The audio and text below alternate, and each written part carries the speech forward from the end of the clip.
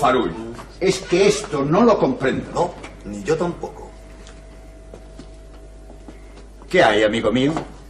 El saldo de la cuenta del señor Azpitarte me lo pidieron. Eh, precisamente su secretario acaba de... Muy bien, muy bien, amigo mío. Déjenos el papelito. Nada más.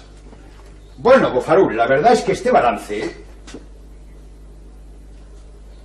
¿Desea usted algo? Si ustedes permiten, quería recordarles mi instancia del mes pasado. ¿Qué instancia es esa, amigo mío? Con motivo de...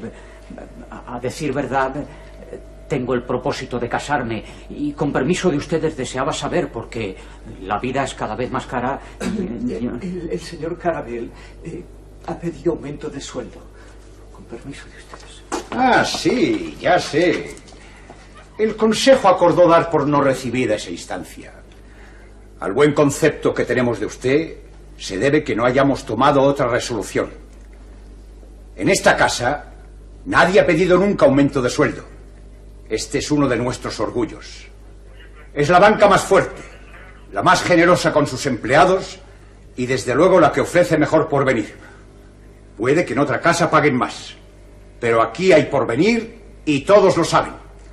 Ahora bien, si es usted un joven revolucionario No, no, no, no, no, no. o un promotor de huelgas, Nunca les aseguro que si no hubiera pensado en casarme, créeme que al Consejo no le parece mal que se casen sus empleados y que cuando podemos auxiliar a un padre de familia, sentimos un verdadero júbilo, amigo mío.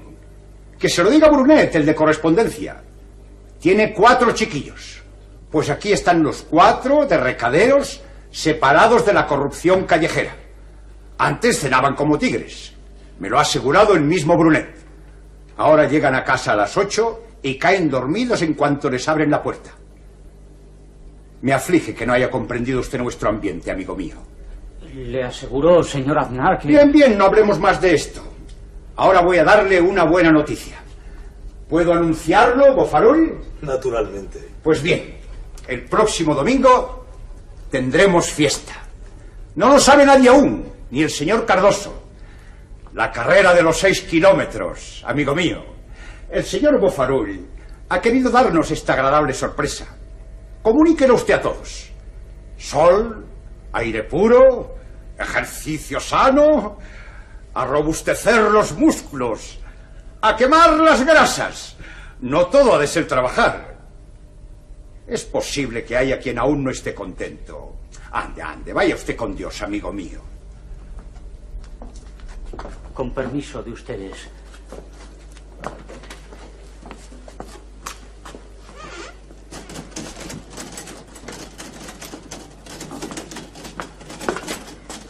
Tenemos aire puro para el domingo. Jornada higiénica en el campo. Nada más nombrármelo. Pues no vaya usted. ¿Y cómo si este año soy el favorito? Acaban de decírmelo. Maldita sea. Tenemos una diferencia, Carabel. No gastes bromas que me espera mi novia y mira qué hora es. No es broma. ¿De cuánto? 16 céntimos. Pero tú te has dado cuenta. Vamos a ella.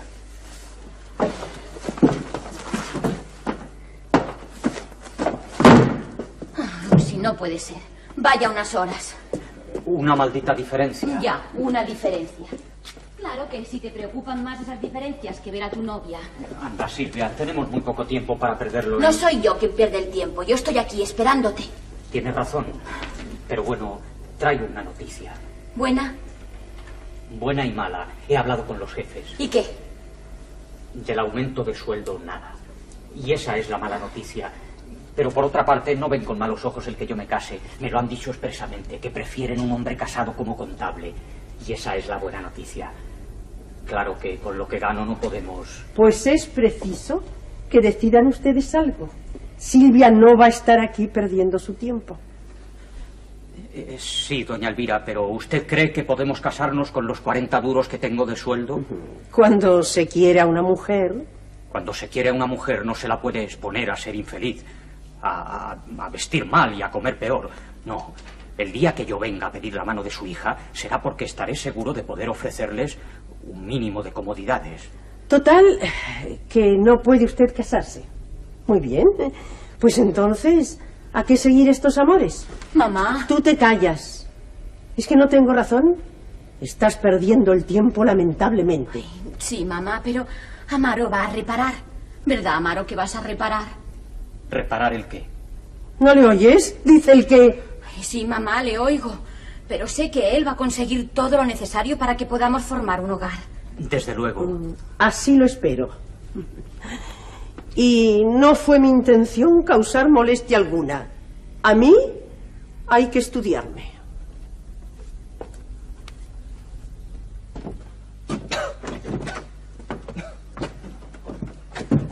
Buenas noches. Trabajando hasta tan tarde, señor Ginesta. Sí, sí, sí, sí, a todas horas. ¿eh? Hola, buenas noches. Adiós, buenas noches.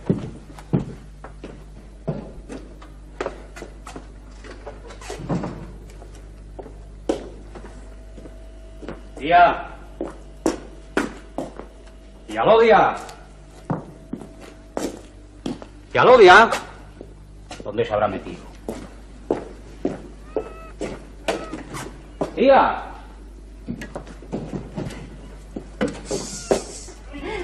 Pero tía. Si fuera sábado pensaría mal de usted. ¿A qué viene ahora esa amor al alpinismo? He ido a robarle el gato a la vecina. Pero si se lo había ofrecido, ¿para qué robarlo? Para que un gato traiga suerte, hay que robarlo. Mira qué lindo es, mira. Es muy bueno. Un poco receloso, pobrecito, pero muy bueno. ¿Qué te parece? ¿Eh? ¿Qué te Que parece? tengo hambre. Sírvame usted la cena, tía, o, me coma al gato, si este tiene algo más que la piel. Ah, faltaría más. Anda, quédate aquí. Quédate aquí. Para que no se nos vaya. ¿Sabes? Ay. Trae.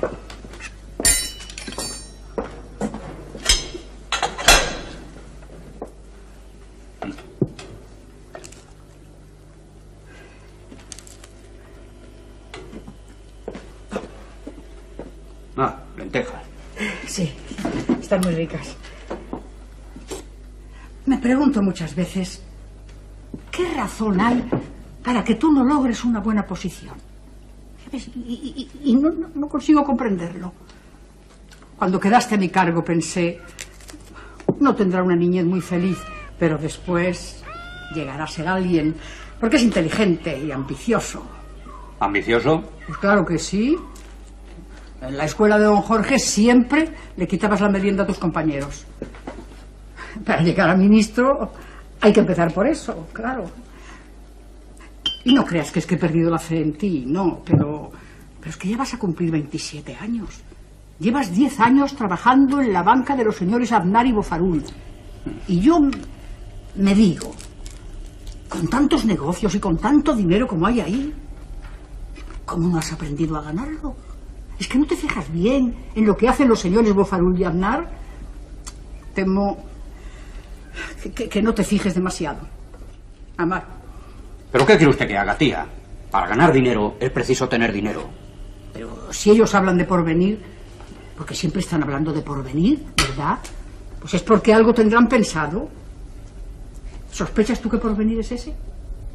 Y yo qué sé. Pues todo el mundo habla de porvenir dentro de la casa. Incluso los jefes, cuando entran por la mañana, en vez de decir buenos días, dicen buen porvenir, buen porvenir. Y los empleados les contestan buen porvenir, buen porvenir. Mm, Todo el mundo cree en él. Y quizá exista. Pero hoy por hoy solo conozco una persona que gana un sueldo de mil pesetas. El subdirector, Cardoso, que ya era empleado en tiempos del padre del señor Aznar. Los jefes lo citan como ejemplo, bonito ejemplo. Nunca disfrutó de un permiso y no tuvo tiempo ni para enamorarse. Espero que no sea ese el porvenir de que nos hablan.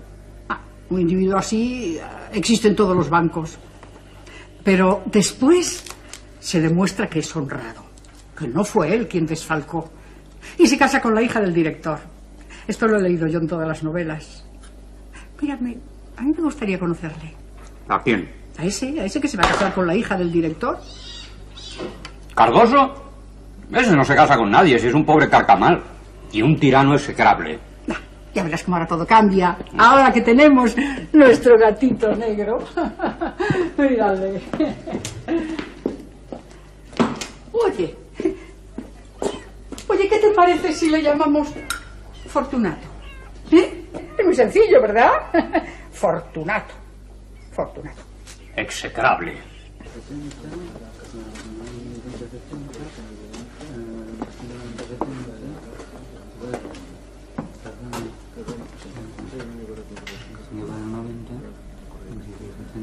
Lo siento por ustedes, pero si no encuentran esa diferencia esta noche, no podrán participar mañana domingo en la excursión higiénica. A mí la excursión higiénica me importa un rábano. Supongo que no hablará usted en serio.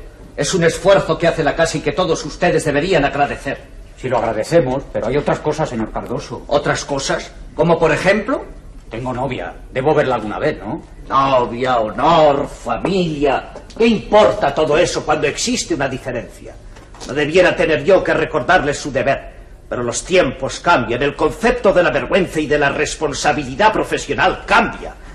Podría yo contarles casos heroicos, horribles, como el de aquel contador que consagró toda su juventud alejado de sus relaciones y de su familia, a descubrir un error como el que ustedes buscan ahora, y que murió de alegría al encontrarlo. O el de aquel otro, en fin, a ese le conocí yo, que enloqueció y se puso a caminar de puntillas por el banco, siempre la mano preparada como para cazar una mosca, porque creía, escúchenme bien, creía en su delirio que la diferencia se había echado a volar y se iba posando por todas partes, aquí, allá, en los pupitres, eh, eh, en las calvas. Vamos, a mí no me dejaba vivir. Pues bien, ese contador llegó a sanar y hoy día es jefe de contabilidad de una casa de banca muy acreditada. Buenas noches.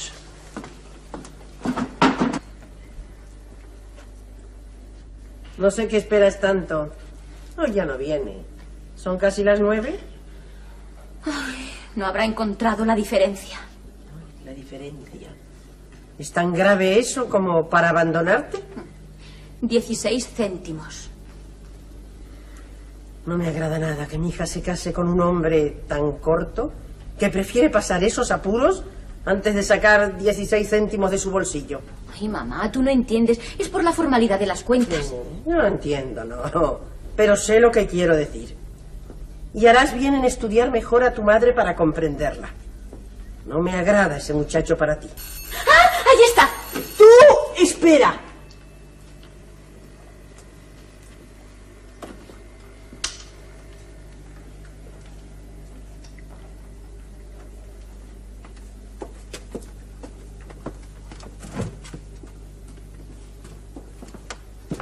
Señora, Pase, pase. Vaya horitas, ¿eh? señora, no vengo porque no puedo. Pero le aseguro que esa diferencia no tiene faldas. Pase, pase. Mamá, ¿cómo le hablas así a mi madre? No le hablo de ninguna manera. Simplemente le explicaba. Ay, no, no, no expliques nada. No discutamos. Mira, te he traído una cosa. Es una medalla de San Antonio. San Antonio. Sí, ayuda a encontrar las cosas perdidas. La diferencia. Ya. De todos modos, como mañana es domingo, podremos vernos sin agobios. Caja. Tampoco mañana. Silvia, mañana es la fiesta pedestre del banco. Después de un desfalco, nada hay que indigne tanto al señor Bofarul como que sus empleados falten a las fiestas deportivas. Va a ir el señor Cardoso y fíjate si será importante la diferencia que Julián y yo nos quedaremos a trabajar. Entonces no nos veremos. Puede que por la noche a última hora. Está bien. ¿Qué? Digo que está bien, que te ha de pesar. ¿Qué quieres que haga, Silvia? Allá tú. Sigue divirtiéndote con tu diferencia. Yo voy a hacer lo mismo. Estoy harta de ser una tonta. Ya, ya, ya, ya, ya, Ahí viene, ahí viene. Por aquí. Venga. Cuidado. Cuidado. ¿Qué ha pasado? Encima de la mesa. ¿Qué ha pasado? ¿Quiere decir qué ha pasado? Allí. aquí, aquí en la mesa. Buenas tardes, señora Citarte. No se preocupen por mí, no se preocupen por mí. Atiendan a su compañero. Ha ganado la carrera. Señor Cardoso, señor Cardoso, señor Cardoso. Iba corriendo detrás de mí y me decía, no puedo más, Solaya, no puedo más. Eh, hace 25 años que no corro. Y yo le decía, adelante, que el señor Bonfarul ha dicho que este año es usted su favorito. Y claro, reventó. Un empleado modelo. No, no lo sabe usted bien, señor alcalde. No, no, no, no, no, no, todo lo contrario. Si lo que necesita es el aire viciado de aquí, porque el aire puro le ha matado. Vamos, vamos, échale humo de tabaco a ver si... Puro, puro, Fuego, fuego. ¡Humo, humo! Vamos, vamos, échale más humo. Más, más humo. Parece que ya reacciona. Se mueve la cabeza. Eh, sí, señor, sí, por tres cuerpos. ¿Qué cuerpo? ¿Eh? ¿Qué cuerpo? El mío y el de dos compañeros más. Este y este. ¡Campeón! ¡Ha muerto! ¡Apártese! No ha muerto. Llévelo inmediatamente a una clínica, a un centro hospital. ¡Deprisa! ¡Esperen aquí a los directores! Vamos, vamos. Ahí, por ahí. ¡Humo! ¡Humo! ¡Échale humo! ¡Humo! ¡Echarle humo!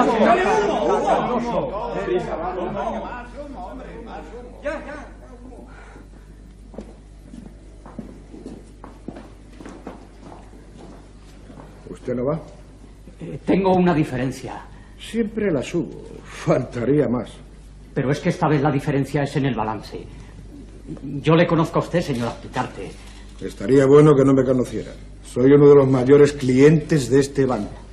Eh, quiero decir que eh, yo he escrito muchas veces su nombre de usted porque tengo las cuentas corrientes a mi cargo.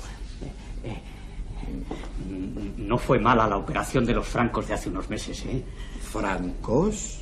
No. Compré liras y perdí. Sí, sí, ya sé, ya sé, pero, pero antes, si lo sabré yo, diga usted lo, lo que es conocer a las personas. Tenía formada de usted una idea completamente distinta a la de la realidad. ¿Sí? Eh, Que, que creí que era usted, con tanto dinero, claro, así, una persona más, más retraída. ¿Vanidosa? No, no, no, no, no, no, en absoluto. Y dígame, ¿cómo están las acciones de la eléctrica Lorenzana? Eléctrica Lorenzana. eh, eh, eh, espere, es. ele- ele- ele- eléctrica Lorenzana. Eléctrica Lorenzana a 23. Eso lo sé. Me refiero a la impresión en el mercado. Naturalmente seguirán bajando. ¿Tiene usted muchas? Unas cuantas. Con que... Bajando, ¿eh? Usted. Usted es amigo de los señores Aznar y. Claro. Pues si habla con ellos de este asunto, es muy probable que ellos le aconsejen a usted que las venda. Muy probable. Casi seguro. Luego, ¿ellos saben? Todo. Ha sido idea de ellos. Son muy astutos. Por, por algo son banqueros, ¿no cree usted? De modo que idea de ellos. Eh, naturalmente. Mire, el negocio es magnífico. Lo único que tiene de malo es la actual administración. Primero, provocan la baja. Adquieren las acciones por cuatro reales y al poco tiempo... Arriba, arriba, arriba. Carabel, Eh, eh, señor Aznar, queremos hablar con usted. Dispensen, amigos míos, Pero soy yo quien desea hablar con ustedes inmediatamente. Perdone usted, señora Spitarte, por favor. Por favor, pase usted, pase usted al despacho. Sí, sí, todo se arreglará, ¿eh? Pase, pase, por favor. pase.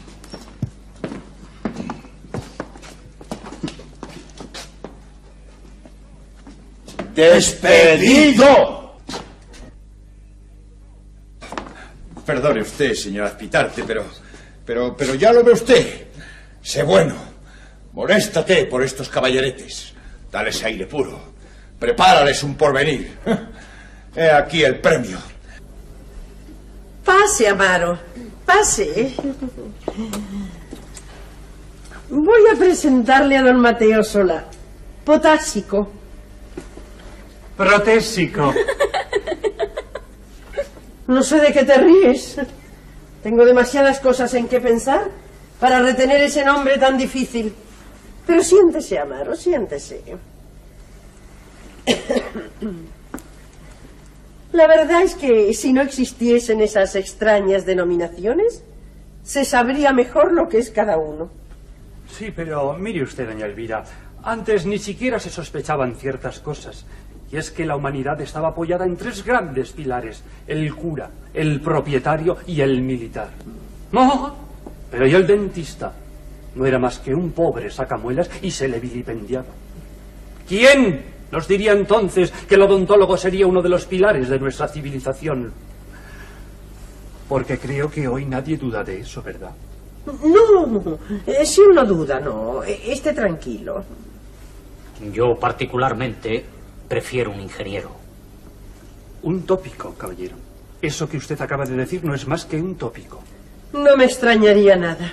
Nuestra ciencia cambiará el mundo y ninguna otra puede hacer lo mismo. Porque vamos a ver, realice usted la obra más importante. Un puente sobre el Atlántico, por ejemplo. ¿Qué ocurrirá? Que la humanidad seguirá pasando por ese puente con sus calles y sus piorreas y no por eso será mejor. Pero eso no quiere decir que... ¿Puede usted citarle innumerables ejemplos en los que el destino del hombre ha estado siempre en manos del odontólogo? El del lobezno, sin ir más lejos. Ay, yo conocía al lobezno antes de que fuese un criminal. En su boca no había más que un solo diente, irregular y nicotinizado. ¿Qué pasó? Que para ocultar aquella horrible cavidad se dejó crecer un profuso bigote. ¿Y qué ocurrió? Que la policía acabó fichándole. ¿Y qué pasó por fin? Que tuvo que matar a su patrono para robarle unas pesetas. ¿Y por qué? Él mismo me lo dijo cuando le llegaban a la ejecución. ¡Ay, don Mateo! Si yo hubiese tenido antes fe en los dentistas. Pero en fin. Creo que no puedo entretenerme más, aunque ya ven ustedes que el tema bien lo merece. Así pues, hasta luego en que volveré con las butacas para el cine. ¿Eh? Señora. Caballero. Silvia. Pase, pase, me acompaña. Gracias por las flores. Pizza. Pase por aquí. Pero vas a ir al cine con ese pedante. ¿Por qué no? ¿Por qué no? Según eso, yo no soy nadie. ¿No crees que es preciso contar conmigo para algo? ¿Para qué? Bueno, esto es demasiado. ¿Demasiado qué? Ya, ya sabía yo que todo esto era obra suya. Si algo hubo aquí en demasía, ha sido la consideración que le hemos guardado a Amaro. Pero todo tiene un término. Este caballero es un hombre serio, tiene una posición, es potásico.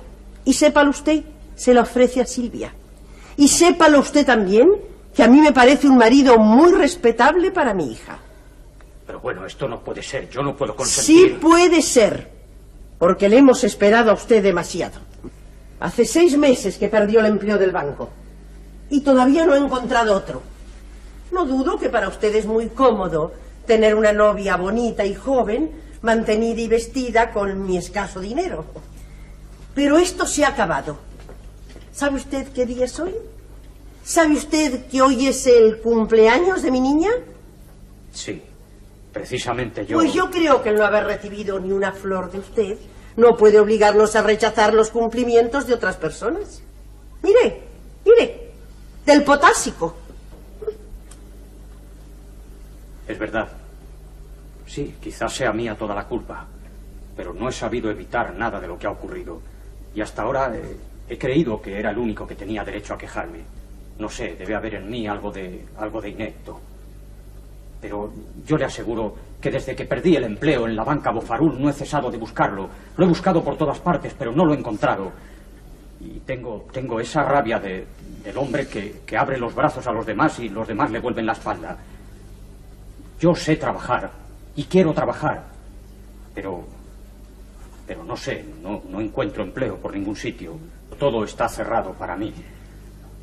Claro, claro que me hubiera gustado traerle un puñado de, de- de flores a Silvia, pero no puedo.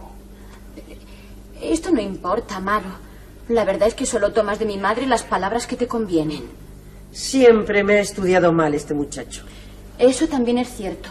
No has estudiado a mamá. La verdad es que no podemos seguir así eternamente. Que debemos buscar una solución. ¿Es eso lo que piensas? Tengo que obedecer a mamá. Hija mía, ¿quién se preocupará por ti con más cariño que yo? ¿Y qué es lo único que yo pido? Verte feliz antes de morir. No será muy largo el plazo. Ay, no, mamá, no. Eso no. Basta.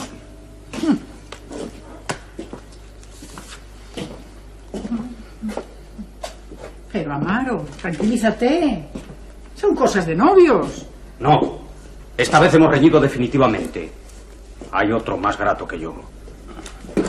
Le aseguro, le aseguro, Ginesta, que está usted ante un hombre distinto. He aprendido muchas cosas. Me doy cuenta de que nunca he saboreado la abundancia, ni el verdadero amor, ni la amistad verdadera. Conozco el nombre de los doce, pero no poseí nunca ninguno. Y me pregunto, ¿qué hice yo? ¿Soy tan distinto a los demás hombres? Que la veo, doña Lodia. Oye, hijo. Oh. ¿Encuentra usted tan despreciable mi angustia?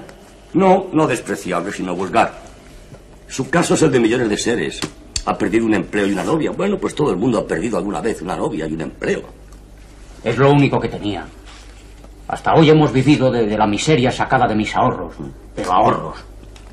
Ahora no me queda nada. Ni siquiera fe en las personas. Me han despedido del banco por haber impedido, aunque inconscientemente, una canallada. Y mi novia no me abandona por ser malo, no, sino por ser desgraciado. Porque, Ginesta, yo siempre he sido un hombre bueno. Bueno, eso no es mérito suyo, Carabel. Se es bueno como, como se es moreno o rubio. Es usted bueno porque no sirve para otra cosa. Pues pienso demostrarle lo contrario. Aquí se acaba Amaro Carabel, el bondadoso y débil. Aquí nace Carabel el malvado, el hombre sin escrúpulos. Puesto que es preciso pelear, declaro la guerra al mundo. Desde ahora, Ginesta, puede usted dejar de saludarme si no quiere que haya un malhechor entre sus amistades. ¿Está seguro? ¿De qué? De ser cruel, de no apiadarse del dolor que produzca. Absolutamente, puesto que nadie se ha apiadado de mí. Bien. Pues tome usted estas tijeritas y hágame el favor de cortarle una oreja a ese gato. Ah, ¿Al gato? Sí, ¿A sí, Fortunato? al gato. Y se la corto. ¡Ay, hijo! ¿Pero, pero qué cosas tiene usted? Venga, ven aquí, menino, que te corto las orejas. Ven aquí, menino, ven aquí. Ah, no te escapes. Ven aquí. Ven aquí, no chilles. Ante todo, quiero hacerle observar que este me parece un acto de crueldad inútil. Porque digo yo, ¿a quién puede beneficiar el hecho de que yo desoreje a un gato? ¿Me ha oído? ¿Lo hace sí o no? Ay, ay, hijo, si no podrá, si no podrá, si, si es un santo. Que no. Ahora verá usted.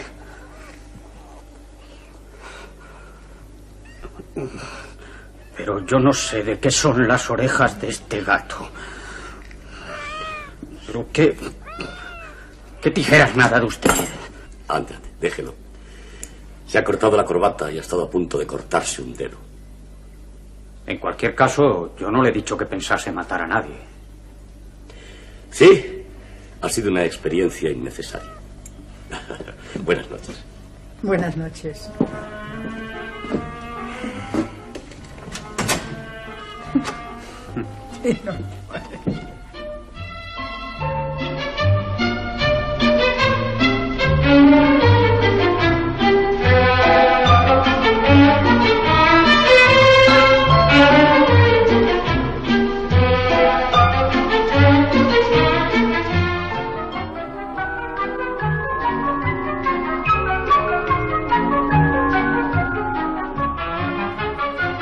piensas, Amaro? En lo que ha de ser mi nueva vida, tía. Todos los escrúpulos que pudieran detenerme están barridos. Mi senda irremediablemente trazada. ¿Qué senda? La de los malos, no se lo he dicho. No será algo que te lleve a salir en los periódicos, ¿verdad? No me gustaría. Podrías, en cambio, ser como uno de esos personajes canallas de las novelas. Y eso, eso no me parece mal. Tan elegantes, tan... Ay, sí, hijo, sí. Casi todas las personas buenas que conozco son infelices. Me parece que haces muy bien, hijo mío. Además, no te preocupes demasiado, ¿eh? Porque de casi todas las personas malas, cuando se mueren, todo el mundo habla bien. Oye, ¿sabes lo que se me está ocurriendo? Que yo también voy a ser mala, como tú. ¿Quieres que le corte ahora mismo una oreja a Fortunato? ¿Eh? No, no, no, tía, no. Deje usted a nuestro vecino con sus trucos policíacos. Nosotros haremos algo más serio. Acometeremos empresas más importantes. Más importantes. Sí. No tengo conciencia. No tengo escrúpulos. Soy un malvado. Creo que te falta algo importante para ¿Qué? Las malas compañías. Búscate malas compañías. No, no se preocupe, tía. Mire, aquí debajo de nuestros pies está Madrid.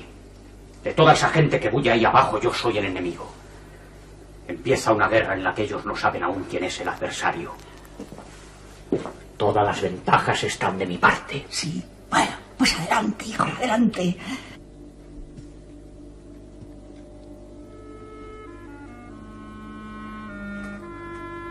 ¡Las doce y sereno!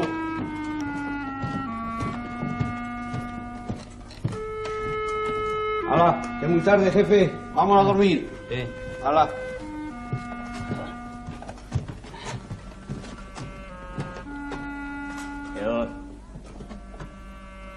¡Al ciego, al ciego, al pobre ciego, una limosna al ciego! ¡Al ciego, una limosna al ciego, al ciego! Espera, Mariana, que vamos a hacer una obra de caridad con ese pobre ciego. ¡Al ciego, una limosna al ciego, al ciego, al ciego! Dos de- sobre la fila 16 o así. ¿Tarde o noche, por favor? No, mejor para la tarde, pero que sea la fila 16 o así, ¿eh? Dos de las siete, nada No, más. la 16 quería. ¿No tiene? Bueno, pues deme la 6. centrales. Deme la 6, me vale. ¿Cuánto es? Dos cabezas la mía, me deja la 250. casa. Me guarda el sitio, ¿verdad? ¿Qué hago yo?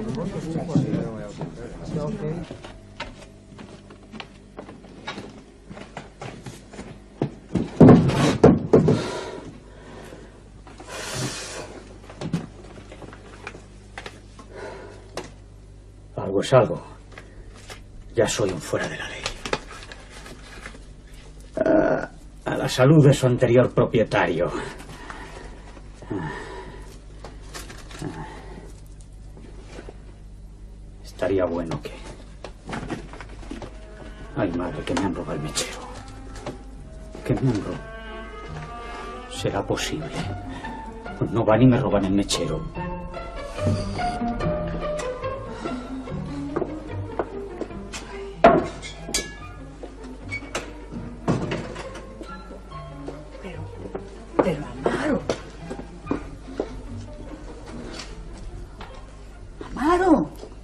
Que, son casi las doce. Déjeme usted en paz, tía. ¿Estás enfermo? No, Pues ¿qué te pasa?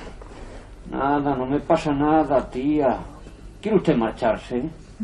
Anoche me acosté a las dos y media. Ay, sí. Ay, cuenta. Cuenta. Ay, ¿Qué quiere que le cuente? Tus maldades. O sea, no es fácil de momento. No. Pero, ¿viste algo? Bueno, pude, pude robar un, un motor de 7 toneladas. Es lo único que había fácil.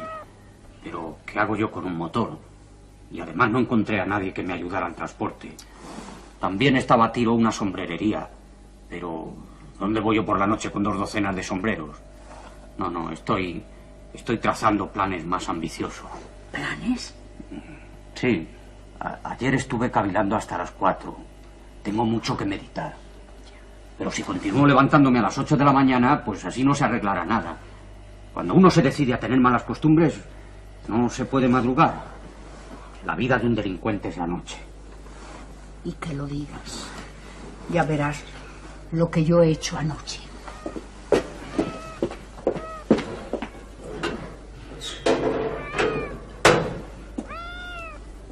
Mira, Pero tía, ¿qué ha hecho usted con el gato? una maldad. Le he cortado la oreja.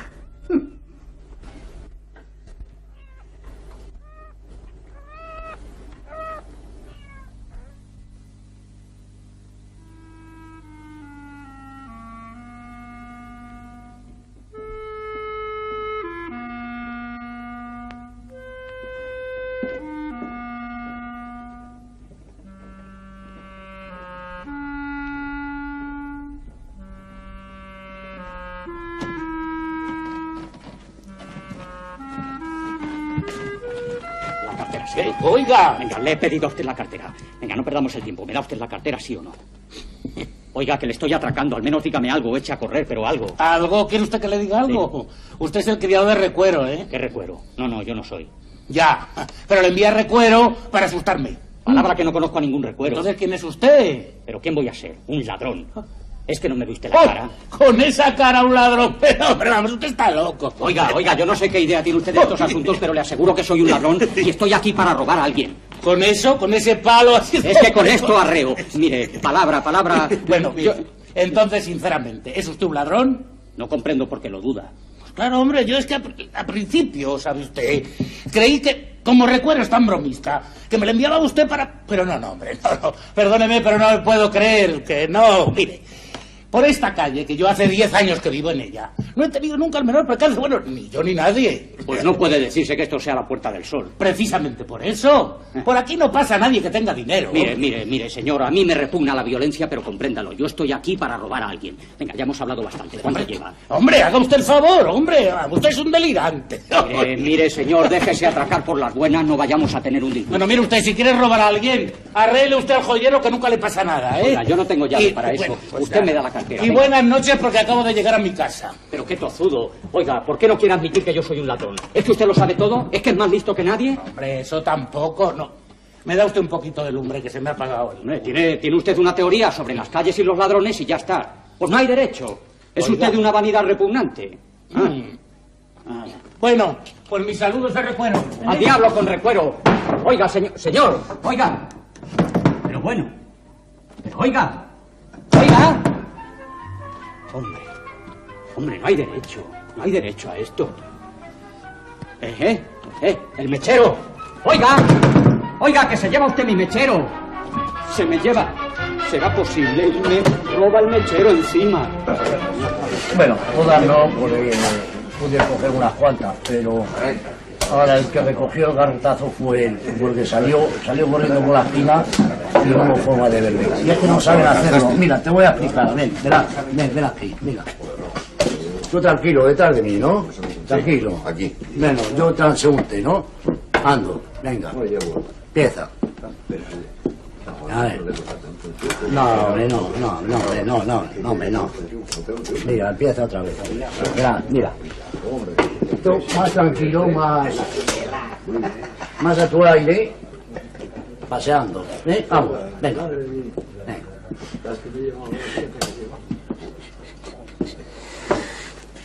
Bueno, esta vez ha ido mejor.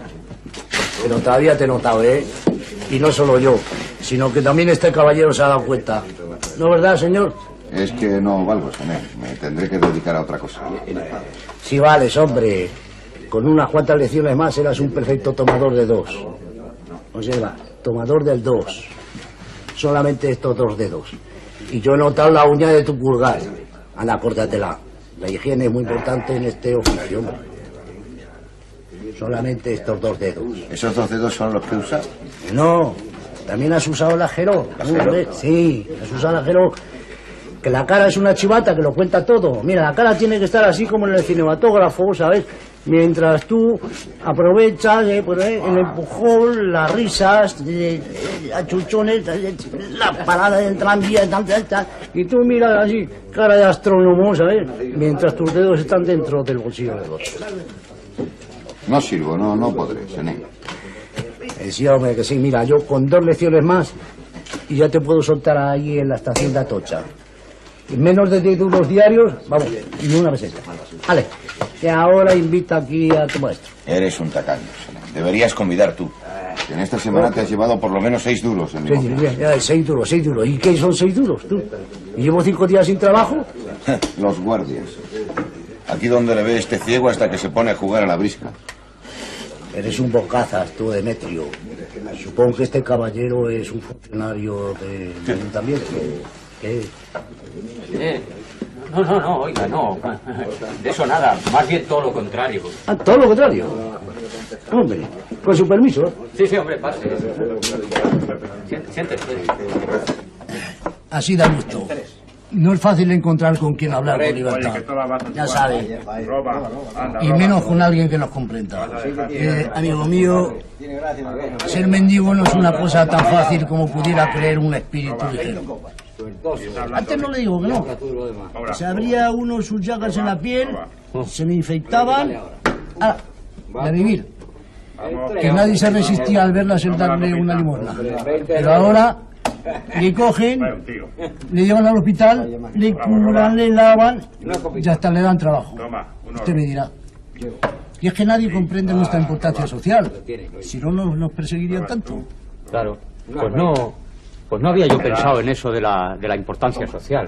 ¿Quién estimula y mantiene despiertos los nobles sentimientos de caridad? Si no fuera por nosotros, se habían perdido bastantes almas. No jorobes, no me digas que lo haces por salvar almas. Aquí donde le ve tiene una casita en Vallecas. Bueno, el ahorro es una virtud. Pero hoy en día, como no sea explotando niños, nadie se enriquece en este negocio. Explotando niños. ¿Eh? ¿Es la inversión más segura? ¿Tiene usted algún niño? No, no. ¿Eh? Mira qué lástima. Pues es un gran negocio. Tú sabes, Senén, que lo mejor es ser ciego o cojo. Ah, sí, claro. Pero tiene sus riesgos. Cuando creen que no ves, ah, enseguida intentan robarte. Y el otro día tuve que darle un bastonazo a un tío aficionado de estos que andan. Uy, por cierto que se parecía mucho a ti. ¿A mí? ¿No? Más vino. Diría. Más vino, oye, Bueno. por favor. En fin, el caso es que cuando eres ciego tienes que mantenerlo. Digo, ¿por qué crees que he pasado yo estos copita. cinco días sin trabajar? Que estaba baldado. ¡Eh! ¡Eh! Venga, un aguardiente, que invita aquí el caballero, hombre. Pero quítale el vino, por favor. Dame una copita. ¿Y qué le, le contaba yo eh, a esto de los riesgos, no? Sí, sí. Bueno, pues verá usted, por ejemplo, verá. El otro día iba yo por la calle sin bastón, que se me había olvidado, no sé qué. Y entonces me encuentro una zanja delante, vamos, de, de la pera. Y yo tenía que seguir andando porque había bastante gente que me estaba mirando, ¿no? Y por más que gritaba yo, hermanitos, caridad, así como se dice, esto, nada, ni caso. Yo a ver si alguien me retiraba del agujero. Nada, ahí estuve hasta que me tuve que mira, ahí hice la rana, chico, y allí me pasé yo pues cinco horas metido en el foso. Ya, cajé del oficio. Pero hay que tener dignidad, ¿no? Aquí donde lo ve es un ciego muy cumplidor. Ah, bueno. Usted que lo diga. Dale para acá. Bueno, a ver, tú. A ver, más vino. Venga, paga, que invita aquí el caballero, ¿no? Anda. Dos. Tres. Bueno, pues me alegro mucho de haberle conocido, hombre. Y eso que... Se ha acabado el vino de esa taberna. Al principio me pareció que era usted mismo bruja que había intentado quitarme la... Que no, no, no. No, no, no, no. Lo que deberías hacer, Senen, es establecerte en el extranjero, en Nueva York. Allí tus colegas se forran, trabajan en coches de lujo, piden limosna tocando la bocina. Una limosnita, una limosnita. El más famoso de mi época era James Brown. Tenía una tos que nadie se resistía a pasar por su lado sin darle algo. Hasta que compró una emisora y por allí tosía todas las tardes. Y luego decía, el que ha tenido el honor de radio toser para ustedes es un pobre enfermo y necesitado que se llama James Brown. Pueden depositar sus propinas en la cuenta corriente tal número tal. Anda, que lo que no inventen esos... El progreso. Era un tío listo. Había empezado su carrera robando hoteles. Pero como tenía mucha tos, despertaba a los clientes y tuvo que dedicarse a explotar sus facultades. Robando hoteles. En los de lujo. Se presentaba como un gentleman, un dandy, y se deslizaba en las habitaciones y robaba. Ve usted, eso es otro negocio que no se explota en España. Claro. Aquí es que no se roban los hoteles. Ah, no, es que aquí nosotros no servimos para los finos. Nosotros aquí es todos, la chapa, las tapitas, toco mucho. Aquí, aquí quien se mecaniza. Claro. ¿Eh? Aquí por lo vasto. No, yo, con la lata, el tacatá, todo lo, el truco, ¿no? Con el- Es que somos de otra manera. Sí, diferente, no, no diferente, pero... No le damos. Vamos. Qué desgracia tan grande. Huérfano tan pequeño. ¿Y qué va a ser de él? Digo yo que iba a ser de él. Tenía 30 años y parecía una anciana de 70. Se le había acabado la voluntad de vivir. Estaba desahuciada por los médicos. Sí, es verdad. puedes saber qué pasa? Chiquitín, Buenos todavía días. ayer me la encontré en la calle y me dijo, ay señora Lodia, no puedo morirme, aunque me gustaría, porque si lo hago, ¿quién se ocupará de mi pequeño? ¿Quién se ha muerto? Pobre hijo. ¿Por qué no se puede dormir en esta casa? Que te levantes. La pobre señora Martina ya está comiendo tierra. Anda, anda arriba. Anda. Triste vida. Triste vida, la de los vivos. La que nos espera muchas. Y que lo digas, hermana. ¿Qué? ¿Hoy has desayunado? No. Ay, sí, no desayunado. No, pues ahora mismo. Madre era una santa. Ay, cómo la queríamos todas una vez que Era una buena mujer. Verdad, toma, hijo. Toma. ¿Quieres? no me gusta. No le gusta la leche. ¿Te, ¿Te gustan las lentejas? Sí, mucho. ¡Ah, sí! ¿Cómo? ¿Cómo era su madre? ¿Cómo era su madre? Un pedazo de buena. ¡Qué carita! ¡Angelito del cielo! Toma. Pero se puede saber por qué no se puede dormir en esta casa. Pues ya te lo he dicho, que la señora Martina, la vecina del tercero, ha muerto. Anda, desayuna tu anda. No, no tengo ganas. ¿Y este? Este es el, el huérfano. Se llama Camilo. Su madre le llamaba Cami. Ah, Cami. Cami. ¿Y qué hace aquí? ¿Y dónde quieres que vaya? Yo me lo quedaría. Pero estoy todo el día en la fábrica y luego sola en casa. Además, soltera, ¿qué iban a pensar? Claro. Eh, Yo tengo cinco hijos. Que si no. ¿Sabe usted qué haría yo si tuviera cinco hijos? Abandonarlos. Ah, malo. No, no le haga usted caso. Es que ahora es, malo, ¿Cómo que es ¿comprende? malo? Sí, sí, pero bueno, es muy largo de contar. Arrojarlos como cinco piedras a la cara de la sociedad. ¿Cuánto dinero gana su marido? Eh, 60 duros. Eh, Claro, en meses alternos. Ah, 60 duros en meses alternos para siete personas. Pero no pueden ustedes ni comer. Sin embargo, si los arrojase a la calle, con ese dinero podrían pasarlo regularmente. Sí, con lo que ganamos bastaría para mi marido y para mí. Otros hacen eso que usted dice. Abandonan a su familia. Pero yo no podría. Quizá lo haya pensado alguna vez. Porque cuando las cosas marchan mal, no hay mala idea que no nos tiente. Sin ir más lejos. Y se lo voy a confesar. Un día cogí a mi mayorcito, a mis Sebas. Me fui a cuatro caminos. Lo monté en un tranvía y ¿Y, ¿Y qué? me lo devolvió la compañía dos días más tarde. Y claro, ¿qué iba a hacer? Y no es un sacrificio, eh, no lo creo. No me cuesta trabajo ser así. Por cobardía. No somos salvajes. Tenemos obligaciones con los demás. Al menos con los nuestros. Somos Personas civilizadas. Ah, la civilización. ¿En qué consiste? ¿En volar a la estratosfera o en descender al fondo de las profundidades marinas? Tonterías. Pero ¿y los sentimientos de solidaridad entre los que pasan hambre? Nuestros sentimientos son exactamente iguales a los de los hombres de las cavernas. Sí, la humanidad es mala. ¿Pero qué podemos hacer nosotros? Eso, ¿qué podemos hacer? ¿Y lo preguntan ustedes que trabajan por un jornal de miseria en una fábrica? ¿Y eso qué tiene que ver? Mucho, Germana, mucho. Usted quiere trabajar honradamente y no puede vivir. Pero si se decidiese hacer de su capa un sayo, lo tendría todo.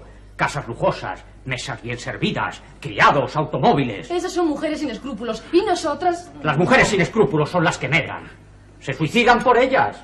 Les amueblan pisos, les compran mantones de Manila en la Gran Vía y hasta se casan con ellas.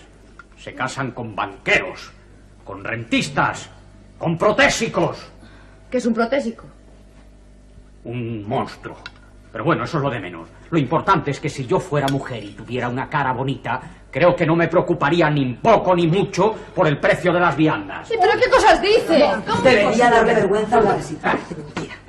Parece mentira con esa carita. Vaya un sobrino que tiene usted. Eso es. No, pues razón no le falta. Yo también algunas veces he pensado en... ¿Pero qué dices, Germana? Si tú aunque quisieras no podrías. Anda, ¿y por qué no? ¡Ah, ya se ha acabado! Angelita, ya ha acabado. ¿Quieres otro? ¿Te ha gustado? Sí, otro. Ah,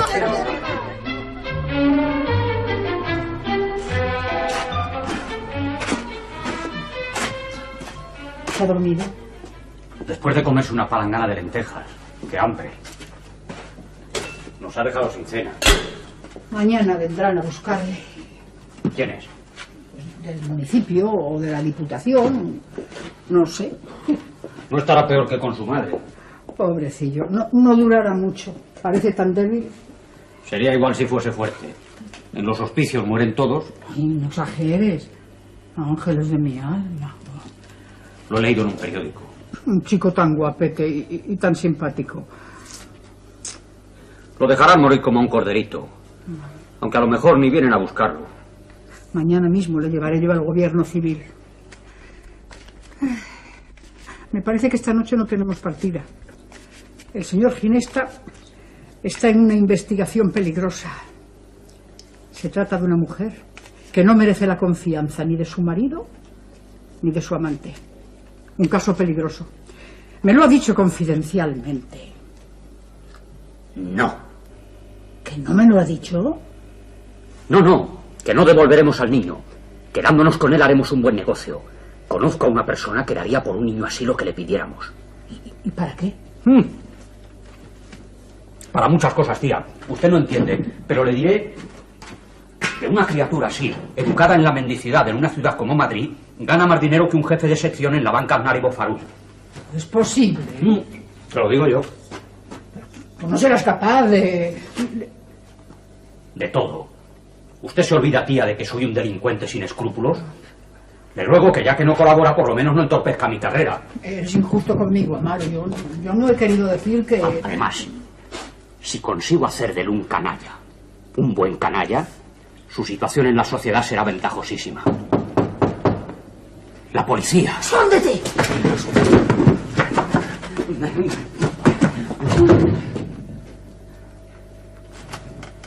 ¿Y para qué me voy a esconder si no he robado nada? Pues es verdad. ¿Quién es? Soy yo, Ginesta. Es el señor Ginesta. Pase, pase. Pase. Pero oiga, ¿qué, qué le ha pasado a usted? El marido, No, el amante. no. Ella. Gajes del oficio. Hola, buenas noches, Amaro. Ya, ya me he enterado de lo de la pobre señora Martina. Hemos decidido quedarnos con el niño. Siempre les tuve por personas de buen corazón. ¿Quiere eso decir que los asuntos les, les va bien? No. Muy mal. Pero ahora van a cambiar a causa de ese niño. Ya, ya sé que usted me tiene por un infeliz. Pero le aseguro que a partir de ahora no voy a ser yo quien va a amparar a esa criatura, sino quien va a aprovecharse de ella. ¿Qué va a hacer usted? Ah, lo que yo vaya a hacer ya lo sabrá usted. Y pronto. Pues yo nunca he sabido que los niños sirvieran para nada, pero... Para algo servirán cuando hay quien los roba. No, amigo mío. El ladrón de niños no es como el carterista o el ladrón de gallinas, una cosa natural, sino un producto literario. Se han necesitado años y siglos de novelas y folletines contando que había hombres malos que robaban a los niños para que alguno se decidiera a imitarlo en la realidad. Y le aseguro a usted que siempre y en cada caso el ladrón de niños ha hecho un flaco negocio. En primer lugar, debe apoderarse de criaturas muy pequeñas para evitar que las víctimas les denuncien. Es preciso gastar mucho dinero en leche, papillas, noches enteras sin dormir. Porque el chico está, pues, eh, por ejemplo, echando los dientes. Sí, un infierno. Para que al cabo de los años, cuando la criatura sea mayor y pueda ser útil, acabe escapándose de maletilla. Es usted un pesimista, amigo mío. No lo crea, no. En mi profesión he tenido muchos casos. Por ejemplo, los que quieren emplearlos en el circo. Sí, explotarlos como acróbatas. ¿Ustedes creen que es fácil hacer un acróbata? En primer lugar hay que descoyuntarlos, sacarles los huesos. Y eso requiere ciencia. Ay, Cari, por Dios, señor gerente, ¿qué cosas dice usted, Cari? Sí. Bueno, y el resultado es que en la operación se estropean la mitad de los chicos, Ah. quedan cojos, mancos. ese. ¿Y para qué sirve? Y si, por ejemplo, alguno sale con facultades, pues eh, todavía peor. Yo conocí a un chico que tenía sangre de malabarista. Bueno, pues el muy diablo, ensayando el tornillo aéreo, se elevaba, se elevaba. Y como no sabía caer, rompió 20 vajillas de la casa de sus explotadores. Total, lo comido por lo servido. No, no. Nadie explota rentablemente a un niño. Mm. Pues yo pienso demostrarle lo contrario. Porque yo. Yo sé caer. ¿Hacia la fila 15 le parece? Sí. La gorra, la gorra te da carácter, ¿sabes? Tienes un aire como siniestro y aventurero. Mira, este es el sitio. Aquí, al lado de la joyería.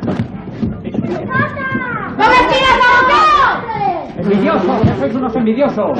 Si fueseis huérfanos os enteraríais lo que es pasar calamidades. Gaby, eso es lo que te tienen. Mira, tú siéntate aquí y entonces a la gente que llega le gritas y le dices, por ejemplo, huérfano de padre y madre, además ya lo dice el cartel ahí, huérfano de padre y madre, y lo gritas mucho, ¿eh? Y luego, si, si te entusiasma el negocio, pues no sé, cuando pase alguien, pues te acercas a él y le dices lo mismo siempre, huérfano de padre y madre. Ah, sin zapatillas, ¿eh? Sin zapatillas que así se conmoverán mucho más. Eso, las zapatillas fuera. Ah, y luego cuando llegues, cuando hayas terminado esto, te guardas el dinero en el bolsillo del pantalón, pero no te guardes en el bolsillo de la chaqueta que se te puede caer. ¿Chaqueta? No tengo chaqueta. Bueno, es igual, en el bolsillo del pantalón, ¿entiendes? Y ahora, ahora ensaya. A ver, huérfano de padre y madre, huérfano de padre y madre. A ver, grítalo, grítalo. Huérfano de padre y madre. Más, más, como llorando, como huérfano de padre y madre. Huérfano de padre y madre. Eso, eso, eso. Cami, si me sacas de apuros, si me sacas de apuros te compro un helado, ¿eh? Venga, grita, grita. Huérfano de padre y madre. Huérfano de padre y madre. Huérfano de padre y madre. Huérfano de padre y madre. Huérfano.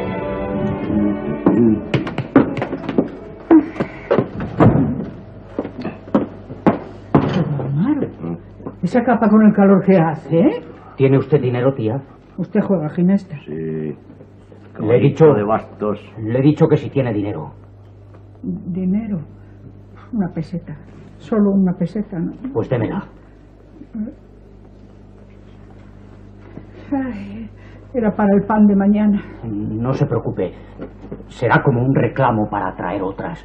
Señor Ginesta, acompáñeme usted. ¿A dónde vamos? Sí, sí, no se preocupe. Luego continúa la partida. Pero- Vamos, venga conmigo. Vamos. Pues, Ah.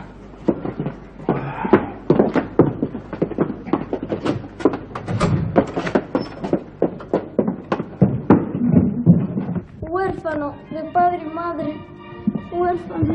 Vaya golfo, vaya golfo. Huérfano de padre y madre. Huérfano. Pero usted se ha dado cuenta, señor Ginesta. Pero es que la gente no tiene corazón. Pasan ahí, ven a la criatura con el letrero que además lo dice bien claro, huérfano de padre y madre. Y además le dan un empujón. Es que no hay caridad, señor Ginesta. Huérfano. Mire, y Pase usted y dele 10 céntimos al crío a ver si así la gente se anima. Huérfano. ¿Y usted cree que...? Vamos a probarlo. Huérfano. Toma, pobre huérfano. Huérfano. De padre y madre. Huérfano. De padre y madre. Huérfano. Pobrecito, pobrecito, ya te saldrá otra ovejita, ya lo verás. Pobre pequeñín, pobre chiquitín. Ahí está la cena, tía. Las ocho en punto, como le dije. Ah. El ángel de la guarda. Pasa, pasa. ¿Cómo va? Buena pieza. ¿Estás contento? ¿Eh? Sí, tío. Sí. Eh, ¿Has hecho lo que te dije? Ven acá, hijo, ven acá. Ven. ¿Tien- ¿Tienes ganas de comer? Pero deje eso ahora, tía, deje eso ahora. Vengan los cuartos. Venga, ¿cuánto dinero traes? ¿Eh? ¿Eh? Nada. Que no has traído nada. ¿No te han dado ni una perra? No, tío. ¡Que no me llames tío! No te han dado nada. Anda, ven, acércate.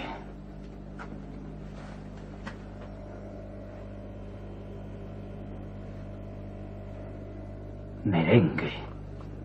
Se lo ha gastado todo en un merengue, tía. Pobrecito. Pobrecito.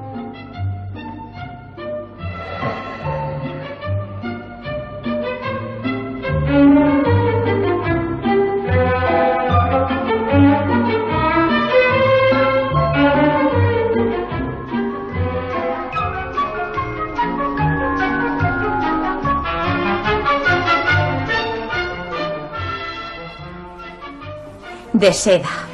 De seda. Oye, oye, deben haberle costado un dineral. Anda. Pues también me ha regalado un perfume y dos cajas de bombones, que por cierto me vinieron la mar de bien porque me sirvieron para la cena de varios días. Que con pan están. Claro, como que es chocolate. Bueno, y también me ha regalado dos peinetas. No, sí es muy generoso. Siempre que viene me trae algo. Ay, hija, qué buena es la mala vida. Sí.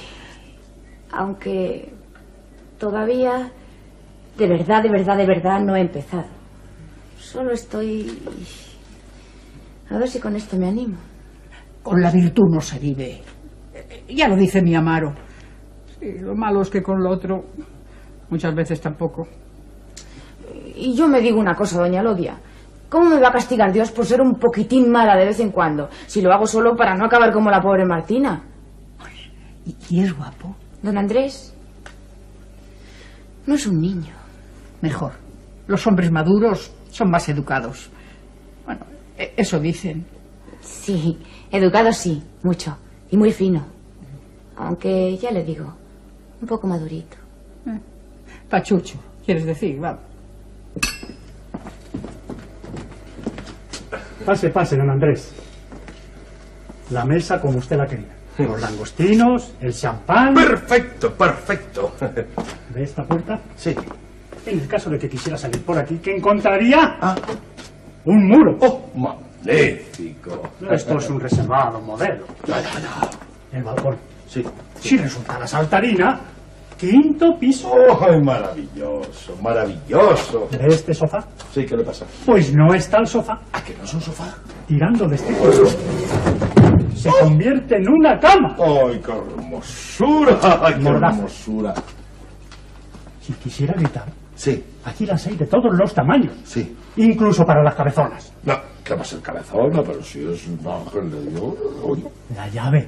Ah, Naturalmente, yo tengo otra por si... sí, sí, hombre, por supuesto. eh. Esto, vamos a dejar esto.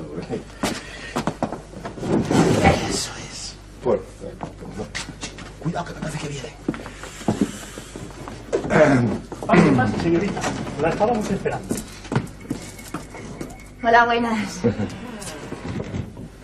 Hermana. Don Andrés. Mm. ¿Nos sentamos? Ah, mm, Sí, sí, sí. Ay, pues qué bien se está aquí, ¿no? ¿Verdad? Es uno de los mejores sitios de Madrid. Tiene su poquito de lujo, su poquito de tranquilidad. Y es que yo sin el lujo no puedo vivir. Claro, claro. ¿Conoces al presidente del Colegio de Abogados? Pues no. Uy, es un grande de España. Pues ese siempre me dice, Andrés, Andrés, no sé por qué te gastas tanto dinero en comer. Cuando hay restaurantes muy buenos y muy baratos. Eh, hija, hija, ¿qué te pasa? No, ¿Te cuentas- es la mala tos. Cuando me da la mala tos. Ah, la mala tos. Bueno, pues lo que te decía, que yo, yo sin el lujo es que, es que no puedo vivir, no. No puedo vivir. Eh, Sí, nos servimos. Sí, eso, más, más. Eso. Yo siempre tendría flores en la mesa. ¡Ay, flores! Si supieras lo que yo me gasto en flores. Bueno, esta vez no, pero lo que yo me gasto en flores. Mira, el otro día precisamente estaba yo cenando con el general Sanabria, un íntimo amigo mío. Estábamos dando cuenta de un buen lenguado cuando de repente me dice, Andrés, Andrés, ¿a ti te pasa algo? Yo digo, no, a mí, a mí qué me va a pasar, si es imposible. Sí, sí, Andrés, a ti te pasa algo. Y entonces yo le dije, bueno, pues mira, chico, yo te lo voy a confesar. Te voy a decir la verdad. Es que yo cuando como pescado, si no hay orquídea sobre el mantel, es que no puedo. No puedo. Ay. Y es que el lujo me fascina. ¿eh? Mira, mira, solo te voy a decir una cosa. Yo sé que hay zapatos de 50 pesetas. Sí. Y también sé que los hay de 20. Bueno, pues yo de 20 duros. Y hechos por Jiménez, el mejor zapatero de Madrid. Mira. Se me ha caído la lupina. Sí, sí, sí. Ay, los zapatos son divinos. Sí, sí, sí, sí. Claro, lo que ocurre es que, como soy tan delicado, entonces para, para ser feliz necesito necesito más cosas que una persona Sí, cualquiera. si vivir bien es muy agradable siempre. Sí. Se me cae. Sí, ya ya. Ay, no quiero más. ¿Cómo que no quieres más? No, Pues es una lástima. es que no quiero más. Ah, ¿que no quieres más? No. Ah, Bueno, bueno, pues entonces habrá que guardarlos porque con lo que, lo que han costado no los vamos a dejar aquí. Aguarda, que me parece que llevo yo aquí. Sí, sí, sí, aquí llevo, aquí. Esto es mejor así guardarlos porque entonces... Esto... Guarde, guarde. ¿Ves? Eso es, muy bien, muy bien, perfecto. Son tan difíciles. Ay. Mira. Mira lo que te he traído. Anda, qué bonito. Perlas oscuras del Japón. Se cultiva mucho allí. Y ahora vamos a hablar de nuestras cosas. Vamos a hablar de un pisito con calefacción central. Bueno, sí, vale. un armario lleno de vestidos. Sí, pero... Ay, don Andrés, que pueden entrar y vernos. Pero ¿cómo van a entrar si Que aquí no, puede entrar Ay, nadie? no, no, no, ahora no, no. Hermana, hermana, espera. No, no, no. te no. vayas. Ahora no. Hermana. Ahora no, otro día. ¿Ve lo que ha pasado? Se ha hecho daño. Es que te marchas. Sí, yo me voy. Germana, Germana, tú dudas de mí. Hombre. Germana, no dudes de mí. No, ¿Tú sí. crees que una vez satisfecho mi capricho voy a dejarte en la calle? No la y no, estoy seguro de que te voy a querer. ¿Quieres una prueba? ¿Quieres una prueba? Mira, aguarda, aguarda. Coge los que quieras. Coge los que quieras. O todos, mira, mira, mira. mira. No, no me digas esas Póker, cosas. póker, No me digas esas cosas. Es que yo lo siento, pero es que no sé lo que me pasa, que no puedo. Pero a ¿cómo? lo mejor otro día que yo tenga el cuerpo, no sé. Va. Puedes decirte si quieres. Ya conozco yo a las de tu calaña. Sois unas explotadoras que abusáis de los hombres sin dar nada a cambio. Prefiero una... Nada le he pedido a usted. ¿Que no me has pedido nada? Aguarda. Aguarda. Germana, Germana, Germana. Germana. ¡70 duros! Me he gastado en regalos para ti. Venga. Devuélveme el perfume. No lo tengo aquí. Las peinetas. Tampoco las tengo Las aquí. medias y la faja. Las medias y la faja. Las medias y la faja por correo. No, por correo no, que tarda mucho. Ahora. Ay, pues... Pues no mire. Tía, si es que esto me pasa a mí porque, porque soy una desgraciada. ¿Quién me manda a mí meterme en estos pollones? Si no sirvo para esto. Las medias y las bajas, las medias y las bajas, qué vergüenza. Ya me lo decía yo. Hermana, no vayas allí, no vayas allí, que no esté. ¡Ay, qué pierna! ¡Ay, qué pierna! Germana! ¡Germana de mi vida! Germana. yo me voy, yo me voy. Ay, si no hay ¡El puerta. muro! Ay, me tiro por la ventana. ¡Quinto piso! Quinto piso es demasiado. Pues ahora grito. ¡Ay, ¡Ay, hija hermana, hija hermana, ven aquí! ¡Ven aquí, hija hermana! ¡Agosto, ven aquí! ¡Ay, hija hermana! Pues ya les digo, yo había llegado toda ilusionada, llena de buena voluntad, a los reservados del royalty. Que por cierto, qué lujo. Bueno, pues estaba tomándome el segundo langostino cuando de repente me dio la mala tos. Y entonces a él va y se le va la mano. ¿Y a dónde se le va la mano? Aquí. Bueno, sigue ofreciéndome cosas, hablándome todo el rato, se le iban ya las manos por todas partes, a todos lados. Yo que no podía más, toda sofocada, que veía que no podía quedarme allí, porque no podía quedarme allí, porque no me iba al cuerpo, porque no podía quedarme allí. Y le digo que me voy. Y entonces él, todo ordinario, me pide los regalos. Y cuando yo me estaba quitando la segunda media, se pone todo arrebatado y dice, ¡ay, qué pierna, ay, qué pierna, ay, qué pierna! Y se me viene encima. Cuando yo precisamente las piernas no es... Bueno, entonces yo en lo natural me voy corriendo hacia la puerta. Abro la puerta y resulta que no hay puerta. ¡Uf, qué trucos! ¡Qué modernidad! En mis tiempos no. No, si es que ahora es todo distinto, doña Lodia. Bueno, y todavía queda mucho más. Porque yo lo natural me pongo a dar gritos como una descosita. ¿Y qué hace? Me pone una mordaza en toda la boca. ¿Qué pasó? ¿Qué, qué pasó? Pues estábamos allí, al lado de un sofá. Entonces él va, tira de una cinta y ¡yes! El sofá se hace cama. Y claro, ya, con la cama allí y todo, pues yo... ¡Ay, ay, ay! ¿Qué pasó, hija? ¿Qué, qué pues, pasó? Pues me desmayé. Bueno, antes me dio tiempo a clavarle las uñas que me las había afilado por lo que pudiera pasar. Entonces no pasó nada. No pasó nada. Que no sé si pasó. Que no, hija, que, que Que no. no sé si pasó. Que, que- que no pasó, hija, que no pasó. Hermana, cálmese Que no usted, que no pasó No nada, pasó no nada. pasó. No pasó. Mucha suerte librándose de ese sinvergüenza. Sí que la he tenido, sí. Ahora que yo, si se me permite el parecer, Claro que se le permite, doña Lodia, claro. pues la verdad que yo hubiera esperado a salir a, a comer el segundo plato, los escalopes. Pero si es que no me dejó. Es muy... Bueno, bueno. No llore, eh, hermana, no llore, no llore. Ha hecho usted no solamente lo que debía, sino lo único que podía hacer. Hay quien nace para eso. Usted no.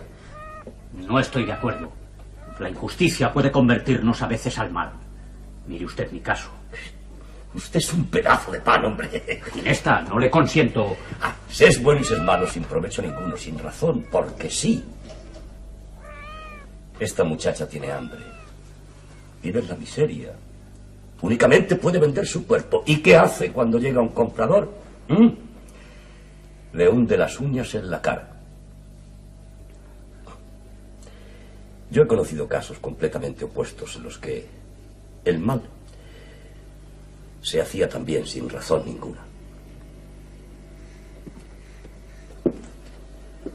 Recuerdo especialmente uno. El de una mujer a la que su marido adoraba y a quien colmaba de toda clase de bienes de fortuna. Y sin embargo cometió un crimen con él.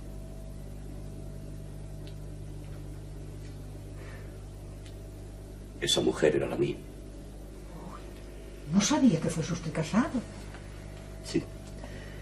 Fue hace muchos años, en América. Entonces yo era un hacendado rico y no el detective privado que ustedes conocen ahora. Ella me arruinó antes de abandonarme.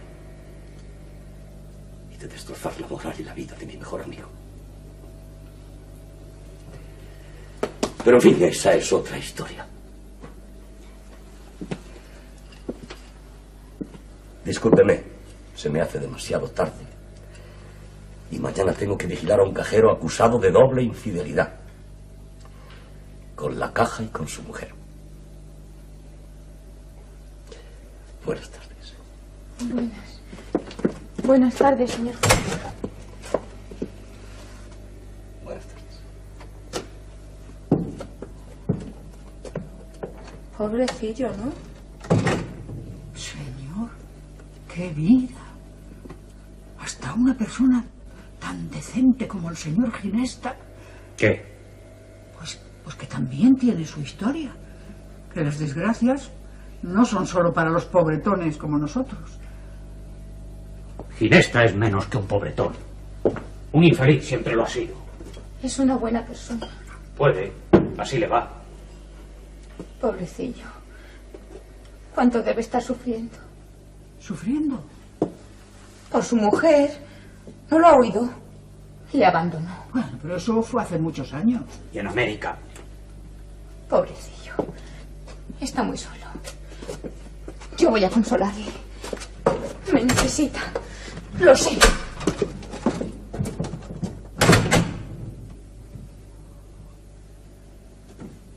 Así son los pobres, tía. Caritativos, humanitarios, racionales. Mire usted esa infeliz. En vez de preocuparse por su propio problema, ahí la tiene usted llorando por la folletinesca historia del otro. Por eso no levantan cabeza. ¿Y tú? ¿Yo qué? Que si no te ha conmovido la, la historia de la soledad de ese hombre. No. Yo soy frío, calculador. No tengo corazón ni sentimientos. Eh, ni dinero. No tenemos ya una peseta ni, ni nada que empeñar. Tu nueva profesión de malvado no da un duro. Naturalmente que no. ¿Y sabe usted por qué? Porque no hemos invertido capital. ¿Usted conoce algún negocio que funcione sin una inversión previa? Pues eso ocurre con mis proyectos. Están detenidos por falta de capital. Eh, pues entonces, mal te veo. Nada de eso. Mi cabeza no para de pensar. ¿Qué? Y la solución. La solución es bien sencilla. Tu casita del pueblo. No, no, no. No, tía Lodia, no, no. Si, si no digo que la vendas, simplemente que la hipoteques. Puedes sacar hasta mil duros. A, a mí me basta con 500 pesetas. Amaro, no. La casita de mis papás, no, no. Tía Lodia, solo 500 pesetas. ¿Pero para qué? ¿Para qué? El gran palé.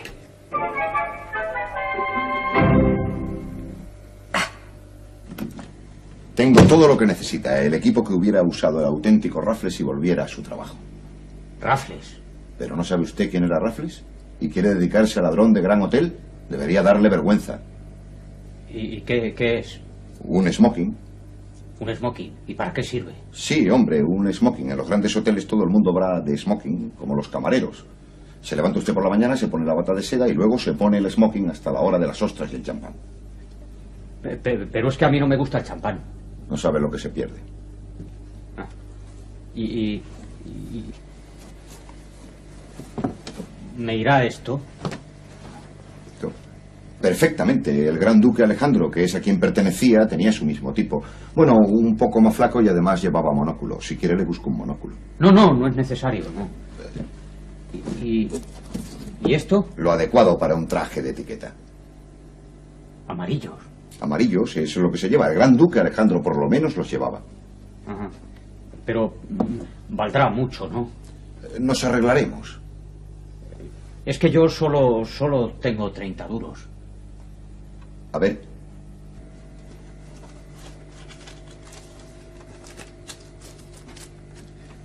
Trato hecho. Pero oiga, oiga, ¿qué, qué, ha- qué ha- Oiga.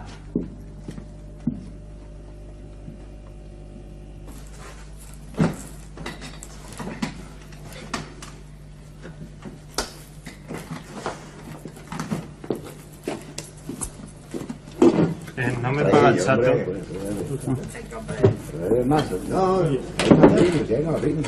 Ahí te embasto. Un hotel de lujo, millonarios, banqueros, cocotes, dineros y joyas en todos los rincones. ¿Se imagina usted, tía Lodia, a su sobrino Amaro? Bastará con alargar la mano. Nadie espera que en España también haya un Raffles, un Raffles de nuestro tiempo, el audaz ladrón de hotel, terror de las administraciones suntuarias. Pero para ello necesito equiparme, actuar elegantemente, con habilidad y sin escrúpulos.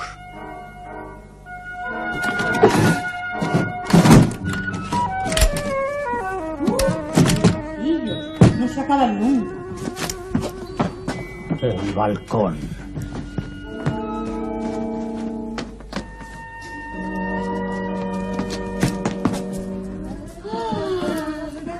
¡Ay, ay qué día! Ay, nena, que no podéis dejar de cantar y bailar. Juanita, pon estos trajes en otro sitio. Y tú, Pepita, dame un vaso de agua, si es que nos han olvidado hoy de traerla. Ay, qué cansadita estoy, qué día. Ay, qué día. Aquí tienes, fresquita. Gracias. Mm. Eh. Eh, uy. Mm. No me sientan bien las comidas de fonda. Tengo, tengo el estómago hecho ascuas. Debe ser la cerveza, mamá.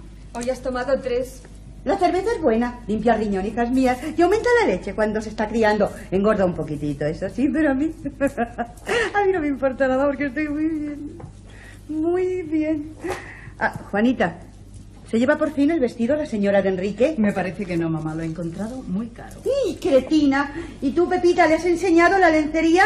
No quiso verla. Siempre he dicho que no servís para vender. No sé qué va a pasar si yo me muero. ¿Vais a ir al cuarto de baño? Puedes pasar tú, mamá. Ay, gracias, nenas. Juanita, Pepita, ¿Qué ¿me pasa? has dejado esto aquí? ¿Un sombrero? ¡Sombrero de hombre, de hombre! No irás a pensar que... No me asustes, mamá. ¿Cómo que no te asusten? Mamá, ahora veréis. ¡Por No, la no, cama! no. ¡No se te vaya a disparar! Vosotras mirad por debajo de la cama que yo buscaré por aquí. No, cama, nosotros no, contigo. mamá. ¡No! ¡No! ¡No! ¡No hay hombre! ¡Ay, que lo haya, que lo haya! ¡Ay, hombre! ¡Ay, salga usted de ahí! ¡Ay, zapatos amarillos! Se arrastra como una serpiente, ¡Es! mamá. ¡Es una serpiente! ¡Salga usted de ahí! ¡Salga más! Sí, de pie, de pie, de pie, de pie. Ay, voy a, voy a disparar, estoy muy, muy, muy, nerviosa. Señora, no, no dispare, me entrego, no dispare. Juanita, Pepita, avisar al servicio. No. Usted a las manos arriba, arriba las manos, más arriba las manos. Así de arriba, estoy muy, estoy muy nerviosa. Si le veo mucho con lo nerviosa que estoy, ¡pum! Así, Pepita, Juanita, llamar al servicio. Señora, yo le ruego que, que- ¿Qué, qué, qué? No pretendo impedir que llame usted a quien quiera, pero si consintiesen escucharme, yo no soy un ladrón. ¿Habéis oído, hijas mías? Dice que no es un ladrón. Entonces, ¿quién es usted? Un huésped del hotel. ¡Ya! ¿Y qué hacía usted aquí? Me equivoqué de habitación. Eso le puede ocurrir a cualquiera. Eh, Cuando ya estaba dentro me di cuenta del error, pero llegaban ustedes y la precipitación me llevó a esconderme. Increíble. Entonces usted no, no se ha escondido para robar. No. No. No, no, en absoluto, en absoluto. Además, si les he dejado el sombrerito aquí encima del armario para, para advertirles a ustedes, ¿no? Medite un poco, señora. Yo vivo en la habitación de al lado, la 183. Eh, Tengo aquí la llave, o si no, pueden preguntarle al conserje. ¡Levante usted las manos! Así, arriba, arriba, sí. ¿Me encuentra usted cara de ladrón? No. ¿Y vosotras, hijas mías? No, Ay, mamá, y además- tan guapo. sí. Es así. ¡Ay, ya sé! Usted ha venido a copiarme los modelos. Sí, sí, sí, sí, sí. Lo- los modelos de los trajes. Sí, sí, a copiarlos, nena. Mirad ahí en el cajón a ver si están. A copiar los modelos. Le aseguro, señora, que No, yo mamá, no- están aquí. Ah, muy bien, nena. Ah, es que me causaría usted un gran perjuicio, caballero. ¿De verdad es usted un caballero? Le doy mi palabra. Hemos pagado muchos miles de francos por conseguir la exclusiva de estas creaciones en España, Yolé. Juanita, Pepita, tú, Juanita, ponte junto al timbre. Y tú, nena, tú en la puerta. Así, qué bien quedáis. Así. ¿Me creerá usted, señora, si le digo que ni siquiera he, he mirado sus modelos? Pues eso ya me parece pasarse, porque la verdad es que llaman la atención. Y un caballero de buen gusto no puede dejar de haber reparado en ellos. Sí, sí, desde luego, son, son maravillosos. sí. Ay, sí, sí, tienen chique. Eso es lo que tienen. Y cuando se puede afirmar de algo que tiene chique, pues ya está dicho todo. Mm, ¿No encontrará usted aquí un solo modelo que no sea de una firma importante? Ya ve usted. No, no se vaya. No, no, si no le voy a hacer nada sin miedo. Sin miedo. sin- No. Mm, Nosotros no le compramos a Ford. Award. Mm, Mucha gente se extraña de esto. Sí, es algo extraño, sí.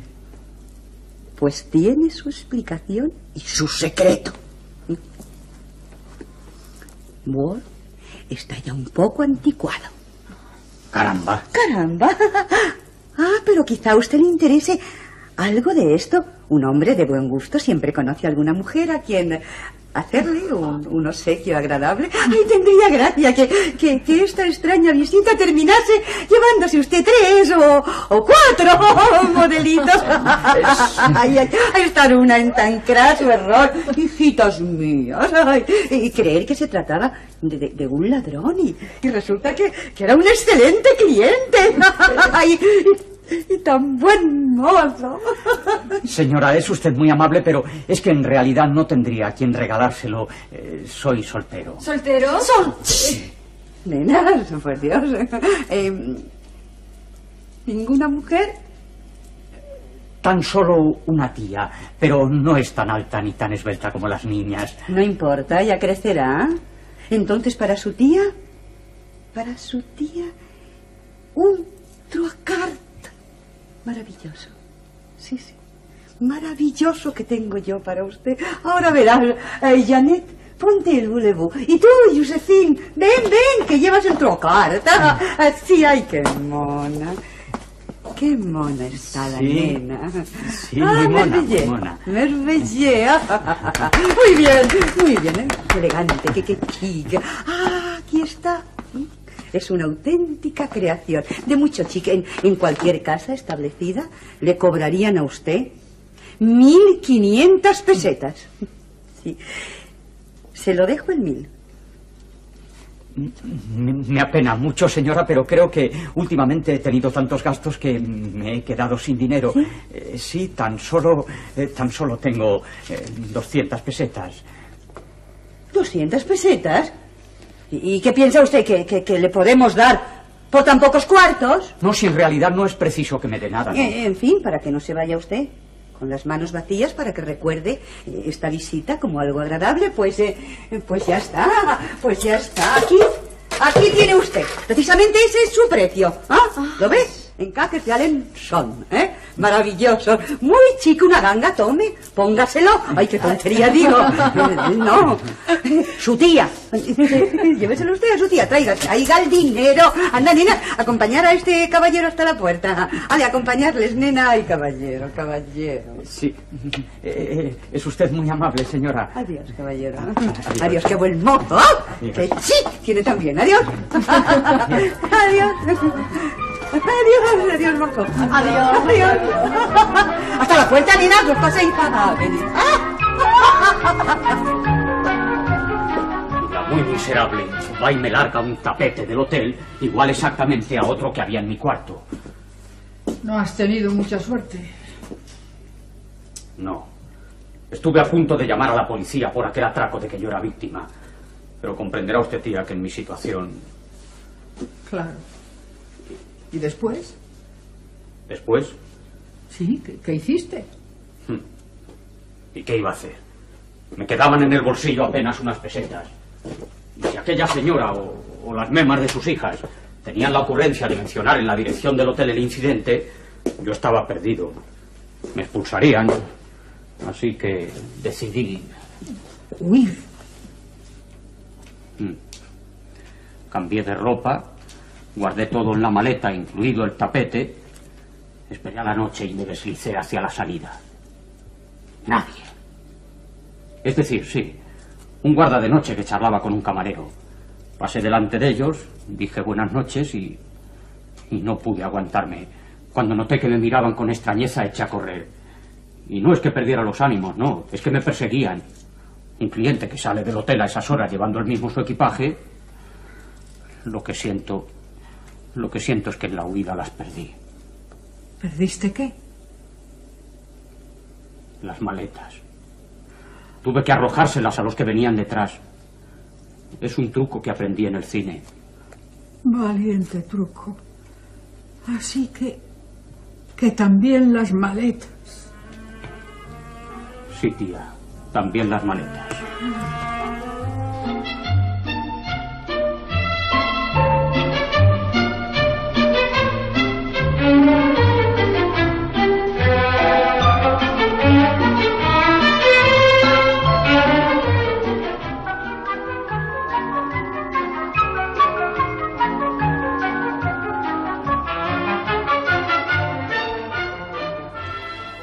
Bueno, pues usted ganó otra vez. Pues apunte usted, que me debe ya 5 millones de pesetas. Toma, a usted le toca dar. No, no juego más. No estoy de buen humor esta tarde. Aunque estuviera usted alegre sería igual. Tengo un secreto para ganar. Y hace tres días que lo estoy ensayando con usted. Sí. ¿Un secreto? Infalible. Bueno. ¿Qué? Es increíble. ¿El qué? Lo de la caja de caudales de la Sociedad de Seguros La Precaución. Ay, es verdad, ya lo he leído. Ese sí que ha sido un buen golpe, ¿eh? ¿La han robado? Sí. Hace ya dos días. Bueno, y lo raro es que se necesita un forzudo, un hombre descomunal para bajar esa caja por las escaleras. Y parece que lo hizo un hombre solo. Oh, buenas tardes. Buenas tardes, Amaro.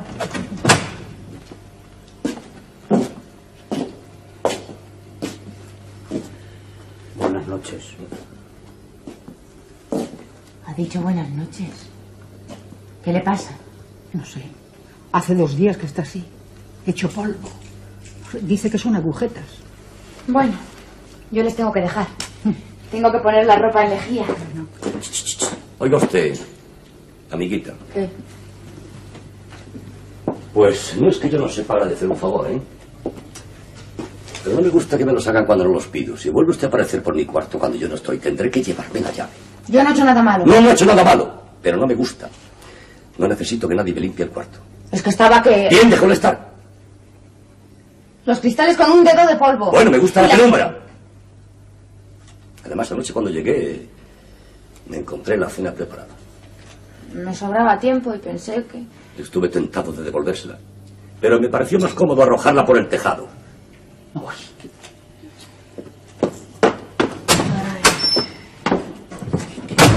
¿Qué cosas dice usted? Oh.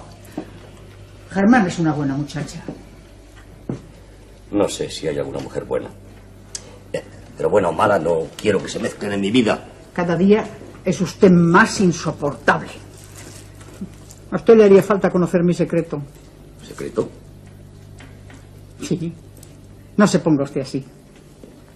Se lo voy a decir. Se lo voy a explicar todo. Vea. Aquí venía el anuncio. Y aquí. Y aquí, por aquí. Aquí. Véalo, véalo. Donde dice de- desearía. Sí. Dice. ¿Desearía usted poseer aquel misterioso poder que fascina a los hombres? Influye en sus pensamientos, etcétera, etcétera. Con él usted se sentirá que la vida está llena de felices perspectivas. Usted podrá aprender a dominar... Tonterías, hombre, tonterías. Nada de tonterías. Es que usted no ha terminado de leer. Mira lo que dice. Podrá desarrollar magnéticamente tal pujanza que derribará cuantos obstáculos se opongan a su éxito en la vida. Pida hoy mismo nuestro libro gratuito que contiene todos los secretos de esta maravillosa ciencia. Bueno, pero ¿qué ciencia? Hipnotismo. He escrito, señor Ginesta, y aquí, aquí está el libro. Un curso de hipnotismo y magnetismo. Ahora de gratuito nada, ¿eh? Cinco pesetas. Qué barbaridad. Yo no creo en estas paparruchas. Usted no cree en nada, pero yo experimento. Anoche, sin ir más lejos, a las once y media, conseguí que Cami se durmiera. ¿Eh? ¿Le parece poco? En fin, no, no quiero decir más, pero tengo, tengo grandes proyectos. El pobre Amaro está luchando contra su mala suerte. Con esto le ayudaré. ¿Puede saberse cómo? Pues es muy sencillo, mire, consiste en que... ¿Qué pasa? ¿Me gusta? Esos gritos. ¿Qué pasa? No lo sé, ¿qué pasa? ¿Qué pasa? ¿Qué es? ¿Pero qué le ocurre? Vamos, vamos. Cálmese, ¿Sí? Por él, por don Andrés. Me estaba esperando escondido. Crueldad, divino tesoro. Así que, don Andrés, le voy a... ¿Le quiere usted que la acompañe? No, no, no, no, conozco el camino. No se pierda, Ginesta. No. Ay, pobre niña, pobre niña. Estaba escondido. Estaba escondido y ha querido. Mm. ¿Qué ha querido? Ya sabemos lo que ha querido, mujer. Qué sinvergüenza. Y yo le decía, buenas, y, y él nada. claro, querido. Pero, Se ha escapado, pero le he visto correr escaleras abajo. Le serviré de testigo. Vamos, arréglese un poquito. ¿A dónde? Al juzgado a presentar una denuncia. ¡Vamos! Yo creo que es, es mejor... No, no, quietos todos. Me basto yo solo. Al juzgado. Al juzgado.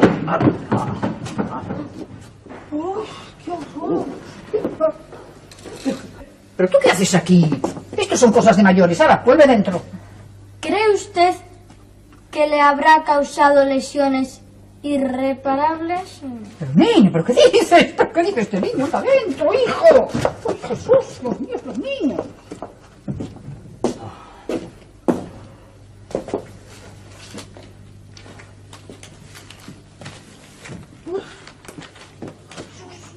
¡Qué niños! ¿Qué cosas dicen de doctor?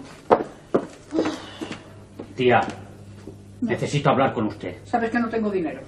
No, no. Esta vez se trata de algo muy serio. ¿Has vuelto al buen camino? Nada de eso. ¿Por quién me toma? Pues entonces no hay préstamo. Después de lo del hotel comprenderás que... Tía, tía, que esta vez se trata de algo seguro. Quiero decir que no es un proyecto. Ya he dado el golpe. Pero ahora se trata de sacarle los beneficios.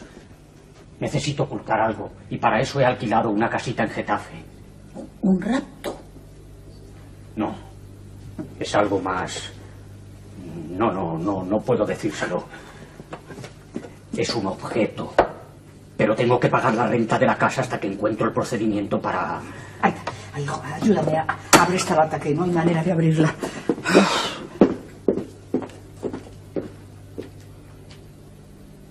Esto sería el procedimiento ideal. Pero solo funciona en la teoría. La realidad es diferente. Más dura. Bastante más dura. Sí, querido Migraña. Siento mucho que no sea posible entrevistarse ahora con el señor juez. Lo siento mucho, Migraña. Sí, don Gustavo. Pero dígale que respondo de que mi defendido sabrá usar de su libertad. Tiene a su madre en Cartagena. Una pobre mujer, paralítica, hemipléjica, próxima a morir. ¿Y cuál es el deseo de esa madre? Pues... ¿Qué quiere esa infeliz mujer? En fin, no quiero interrumpir más el trabajo del señor juez. Dígale he estado a visitarle.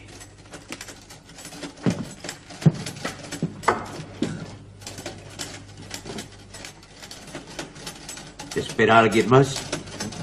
El chofer que atropelló al ebanista, la señora que se cayó del segundo piso ah, y ese ginesta, el policía particular que acompaña a una joven. ¿Guapa? Mucho. Vienen a presentar una denuncia por allanamiento de morada y malos tratos a la muchacha.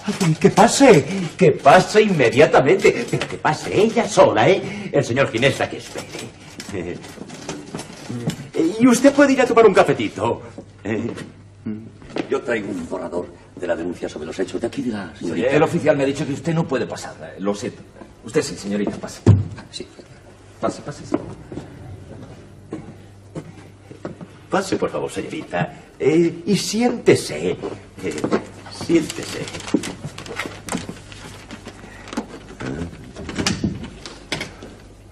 Vaya, vaya, pero... Pero este asunto no está demasiado claro. Vamos a ver, vamos a ver. Cuando él entró, eh, me refiero al agresor, ¿qué hizo? Cerró la puerta. Ah, perfectamente. ¿Y después? Después, yo empecé a gritar. Bueno, claro, usted empezó a gritar porque él sin duda eh, intentó algo.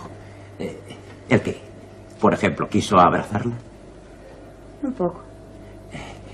¿Y después? Después, me empujó. ¿Hacia dónde? Ah, ¿Hacia la alcoba? Bueno, es la única habitación que tengo. Ya. ya. Eh, Cuente, cuente. Tenemos que saberlo todo. Quedamos que una vez dentro de la alcoba, don Andrés intentó propasarse. ¿Es eso? ¿La besó? Sí. Y en, en la lucha le desgarró el vestido. Sería una prueba. No, no, el vestido no. Me empujó sobre la cama y luego en el jaleo, pues... Eh, ¿Sobre, el, ¿Sobre la cama? Sí, ya le he dicho que sí. ¿Y qué más? Eso es todo. No debe usted ocultarnos nada. No, si es que no sé más. Yo me desmayé. Me suelo desmayar, ¿sabe? Ah, ya. Pero bueno, an- antes de perder el sentido... ¿m? No, no pasó nada. Enseguida entró gente porque debieron oír mis gritos y él salió huyendo. Ya. Así que usted no denuncia ningún abuso de otra índole. No. No es buen asunto este. No, no es buen asunto. Anda, ¿y por qué? Porque este señor don Andrés tiene muchas eh, amistades. Eh, apretará con su influencia. Ma. Y usted querrá que se le castigue, como es lógico. Hombre, yo lo único que quiero es que me deje en paz. Sí, pero es que don Andrés apretará. Más todavía. Claro, y si usted no está bien aconsejada, aquí nos haría falta contar con alguien. ¿Y para qué? Pues para no dejarse dar carpetazo a la denuncia. No comprendo que esos señores con sus recomendaciones y su dinero... eh, eh, porque usted no... No podrá gastar mucho en esto, ¿verdad? Uy, ¿gastar? No tengo una peseta. Bueno, no tiene usted una peseta, pero... eh, tiene usted algo que vale mucho más. Eh, yo me cuidaré de ello. Es usted una muchacha muy simpática. Eh, si no le parece mal, podemos vernos y, y yo le diré cómo hay que llevar esta cuestión. Sobre todo la defensa personal. eh, sobre cierto tipo de hombres. Porque usted no ha caído, ¿no? Pero puede caer. Y usted necesita un apoyo y una ayuda que, que yo voluntariamente le ofrezco. Que ya te consideras ¿Quién? Nunca en la vida. Nunca. Maquinista. Yo, maquinista. Ah, usted perdone.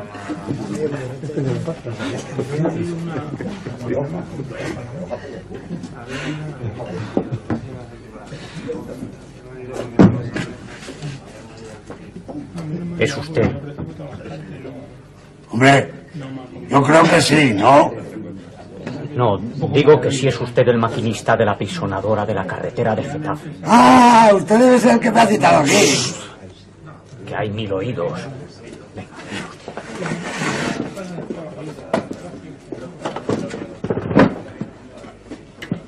Escúcheme atentamente. Le gustaría ganarse un dinero.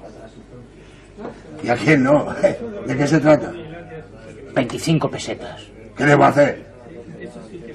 Se trata de desviar un poco la maquinita para pasar el rodillo por encima de un objeto que yo... ¡Ni hablar! Oiga, si no, no se enterará nadie.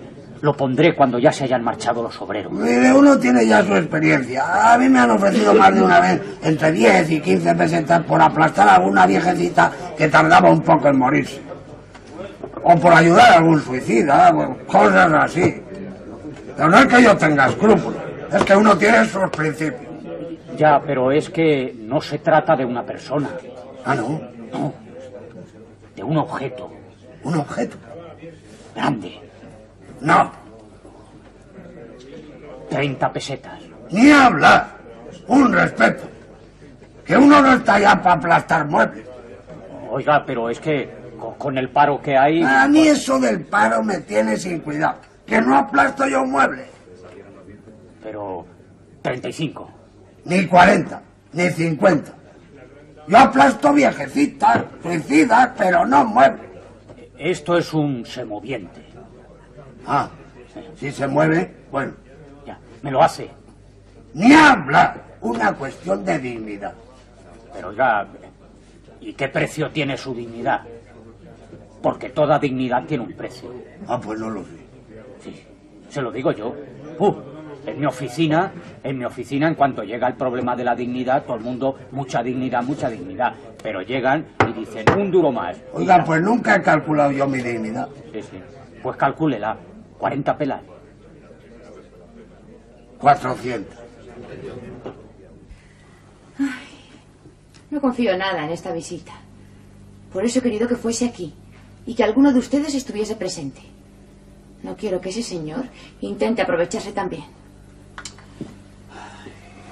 Vamos, amiga mía. Ay, la veo con espíritu de derrota. Levante esa moral. ¿Y para lo que me sirve? Si es que yo soy muy desgraciada, señor Ginesta. Todos intentan aprovecharse de mí. Si usted viese las insinuaciones que me hacía el otro día aquel escribiente, venga, tirarme la plumilla, venga, tirarme la plumilla. Me arrepiento de haber puesto la denuncia. Seguro que perderé más que ganaré. ¿Por qué va a perder? La justicia la ampara. Ay, ¿Y usted cree en la justicia? Pues sí. Hay que creer porque si no sería más triste todavía. Ay, lo que siento es que ese abogado se retrase. Tengo una cita importante. No se preocupe, Ginesta, y váyase. Doña Lodia me acompaña.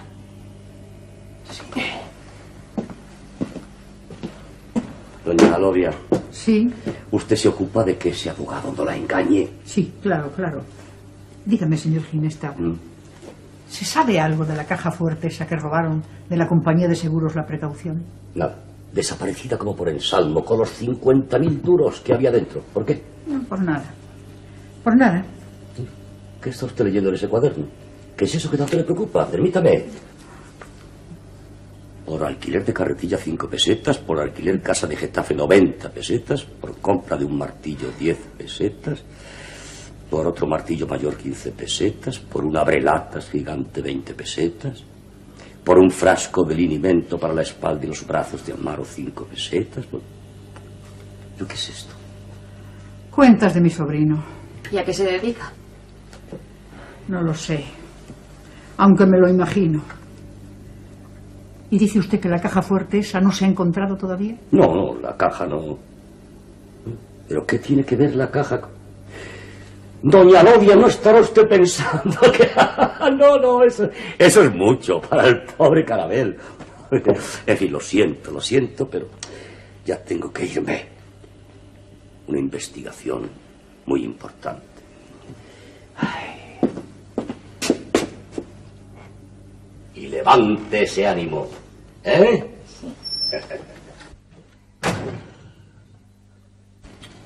Así que usted ha presentado una denuncia contra don Andrés. Sí, señor. Buen hombre, bueno. Y vamos a ver. ¿Qué fue lo que le hizo ese pícaro de don Andrés? ¿Eh? Pues Mm, No, no me lo cuente, lo sé todo. He leído su denuncia. ¿Y quiere que le diga una cosa? Que no estuvo bien. No, señor. Claro que no estuvo bien. No. Aunque usted hizo perfectamente en acudir a la justicia. Claro que no le servirá de mucho. Ah, no. ¿No? ¿Y por qué? No, no, no, no, no. ¿Puede usted demostrar que él entró sin su permiso? ¿Puedes demostrarlo? No puedo. No puedo. No hay ninguna señal de violencia ni en usted ni en la casa. Ah, pero es que esta casa es mía. Él no es de ella, ella vive abajo. Abajo. Abajo. Pero no hay ninguna señal de violencia. No. Ajá. Sin embargo, quizá él demuestre que era amigo suyo. Bueno, amigo, nos conocíamos lo normal, de buenos días, buenas tardes por la escalera, nada más. Ya. ¿Y que le hizo algún regalo íntimo? eh, Interior. Se los he devuelto. ¿Cómo lo demuestra? ¿Cómo lo demuestro? Hmm, Naturalmente no puede. Que cenaron juntos eh, alguna noche. Pero no pasé del aperitivo. Está en la denuncia. Sí, no llegaron al escalope. Ya, al escalope. Sin embargo, quizá él la culpe de intentar un chantaje. ¡Ay, Dios mío! Sí, señora. Don Andrés tiene una posición. Es abogado en ejercicio, como yo mismo. Y no nos será nada fácil vencerle. No. ¿A qué negarlo? Yo soy amigo suyo. Sí. Y ha estado a verme. Y me ha hablado. ¿Y quiere que le diga una cosa? Que no le conviene a usted meterse en esa aventura. No. Es mi parecer sincero. En el choque de dos reputaciones, la de usted resultaría más quebrantada. Eh, pero dejando esto aparte, ¿ha pensado usted en los graves perjuicios morales que causaría a don Andrés? Mm, Don Andrés, señorita, tiene una madre. Tiene una madre. Tiene una madre. Cierto es que esta madre está allá arriba. No, Arriba no sé, eh, esto ya es la bordilla, no hay nada arriba. Más arriba, señora. En el cielo. Eso es. En una región donde no existe nada que se parezca a las pobres querellas de los hombres. Pero su mirada no puede apartarse de su hijo. ¿Y qué verá esta mujer amantísima? Verá así. Verá al hijo de sus entrañas sonrojarse bajo el peso de una acusación que le presenta como un hombre ruin, incapaz de dominar sus impulsos. ¿Domine usted los suyos? Eh, sí, señora.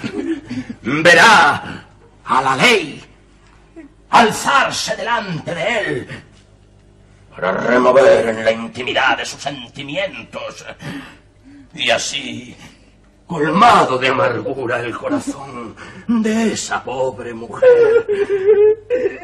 Perdónale, perdónale, hermana. Así Dios le perdone a todos. Sí, sí, sí, yo le perdono, le perdono. Gracias, muchas gracias. El nombre de una madre que está en los cielos. Gracias. ¡Qué cariñoso es! Muchas gracias. ¿Y qué podía decir, señor Ginesta?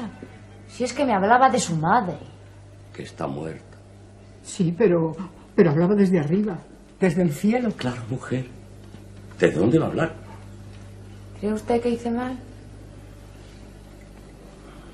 ¿Sabe usted a quién he visto morir hace unos momentos?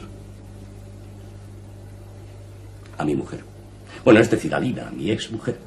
Pero no estaba en los cielos, que en paz descanse. No, entonces no, entonces estaba en Madrid, pero yo no lo he sabido hasta hace unas horas. Hace días que una señora enferma se había quejado a la agencia de que en su casa se cometían hurtos de importancia. Me designaron a mí para llevar el caso. Eh, Es un chalet en la barriada de Buenavista. La dueña, la señora enferma, era Lina. La reconocí enseguida a pesar de los años transcurridos. Y me quedé tan alelado, tropezando con los jarrones y cometiendo tales torpezas que, que me dijo que prefería que la siguieran robando impunemente antes de ver añicos su porcelana. Y dice usted que, que murió. No se habrá usted vuelto loco y... No, mujer, no. Todo fue del modo más natural. Pulmonía. Cuando yo llegué ya estaba en las últimas y temí que por eso no me reconocía y tuve que decírselo. Estuvimos hablando unos momentos. No me preguntó si la había perdonado, pero yo se lo dije para tranquilidad de su conciencia. Y ella se emocionaría, claro. Pues poco. Solo me dijo, así que me has perdonado. Me alegro por ti, querido. Eso te hará bien. Seguramente pasarás un dichoso día diciéndome, la he perdonado. Qué bueno soy. Y eso es muy sano. Se burlaba de usted. ¿Burlarse? No, qué disparate, si es que ella era así, siempre fue así, sí. No le importaba otra cosa en el mundo como no fuese ella misma. Si, si se puede leer en el alma de los demás, cuando nos morimos, Lina habrá visto que en la mía no, no había rencor. Y ahora dígame usted, Germana, ¿qué puede importarme el perdón que usted le ha concedido a ese abogado? Él la ha embaucado y junto con su cliente seguirá riéndose de usted y de todos. Pero ¿qué importa? Mi mujer tenía razón cuando hablaba de la alegría de perdonar. La única dicha de los débiles es perdonar. No podemos hacer otra cosa que perdonar. Los fuertes nos pisan y pasan sin ni siquiera notarse. Pero nosotros corremos tras ellos con lágrimas en los ojos para decirles, no se preocupe, no ha sido nada. No tenga usted remordimientos de conciencia. Y nos pisan otra vez. Y continúan avanzando sin hacernos caso, pero en nosotros parece que se atenúa la humillación y hasta... Y hasta parece que hemos sido fuertes también. Sin embargo, no es por ellos, Germán. que si no pudiésemos perdonar, moriríamos de asco y de vergüenza. De ser tan humildes. ¡Bandidos! ¡Canallas! ¡Ladrones, sinvergüenzas! Ahí le va a dar algo a dar Vea, vea usted, señor Ginesta. Bandidos. Ay, cómo viene. Sube el precio del pan. Discurso del... No, no, no. Aparece por fin la caja de caudales robada a la compañía de seguros La Precaución. Eso. Eso. Estoy segura de que es eso. Tonterías, ¿Pero ¿eh? por qué? No sé, no lo sé, pero anda, léelo. Vamos a ver. En la madrugada de ayer, la policía recibió la siguiente carta. La caja de caudales de la compañía de seguros La Precaución está al pie de uno de los derramaderos de los siete picos. Mm, la encontrarán con facilidad. Les ruego feliciten en mi nombre al fabricante de esa caja. La he tenido en mi poder más de dos meses y no he podido abrirla. Les confieso que me ha hecho sufrir. Casi me ha arruinado. Y lo que es peor, ha desbaratado mi fe y mi confianza en mí mismo. Por eso la devuelvo. ¿Ah? ¿Y qué tiene que ver eso con Amaro? Yo no entiendo nada.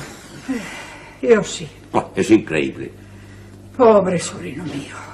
Ande, siga leyendo. Vamos Siga.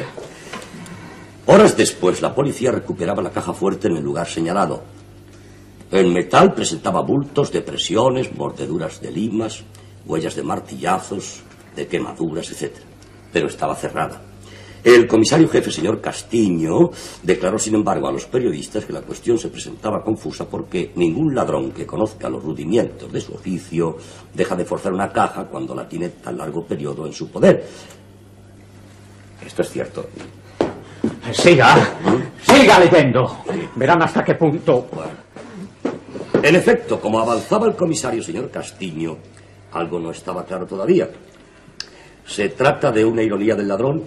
Nos referimos a la felicitación al constructor, que no pudo llevarse a efecto porque cuando la caja fue abierta en presencia de la directiva de la compañía de seguros La Precaución, en su interior no había más que algunas cuentas, una libra de tabaco y un paquete de cartas amorosas que el tesorero guardaba allí, temiendo una indiscreción de su mujer. A ese le pillaron. Bueno, pero ni un céntimo de las 250.000 pesetas que, según los libros, debía haber en efectivo en el momento del robo. Bandidos, canallas, se han aprovechado de mi trabajo para hacer un chanchullo y no poder denunciarles. Cálmese, cálmese, Carabel. Perdone, le sienta bien a la salud. Pero me pide usted que perdone. Si estoy a punto de morder una silla, señor Ginesta. ¿Qué pasa? ¡Fortunato! ¡Fortunato! Ya va usted a matar. Con la sardina de la cena. Pero si es que ha robado la sardina de la cena, si es lo único que tenía por sinvergüenza. Te voy a, te voy a cortar la otra oreja. Lo único que tenía. Tendré que preguntarle a ese animal ¿Preguntarle qué? cómo se roba para tener éxito.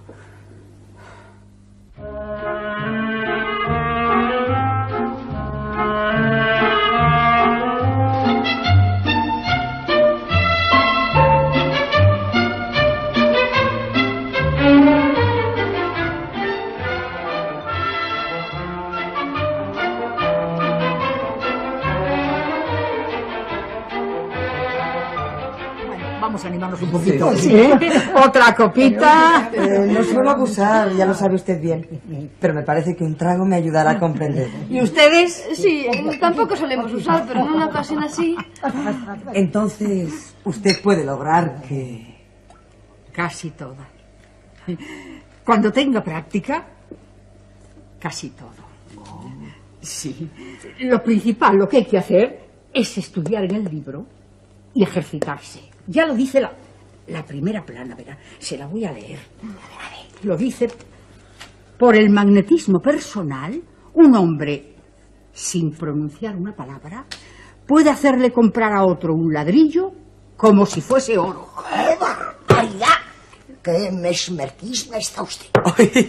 Pero qué cosas dice, doña Filo. ¿Pero qué palabra es esa? ¡Ay, qué ignorante! Pero, pero es que no saben ustedes quién es Mesmer. El rey del magnetismo. Es verdad, es verdad. Y el magnetismo es el secreto del éxito. Por él se puede hacer que un niño sea bueno, que un hombre deje de fumar Y hasta que una enfermedad desaparezca. Aquí, aquí en el libro, vienen fotos y, y- y- y- y declaraciones de personas muy serias de los Estados Unidos que dicen que lo han hecho. ¿Y usted ha ensayado ya? Yo. Yo ensayo siempre.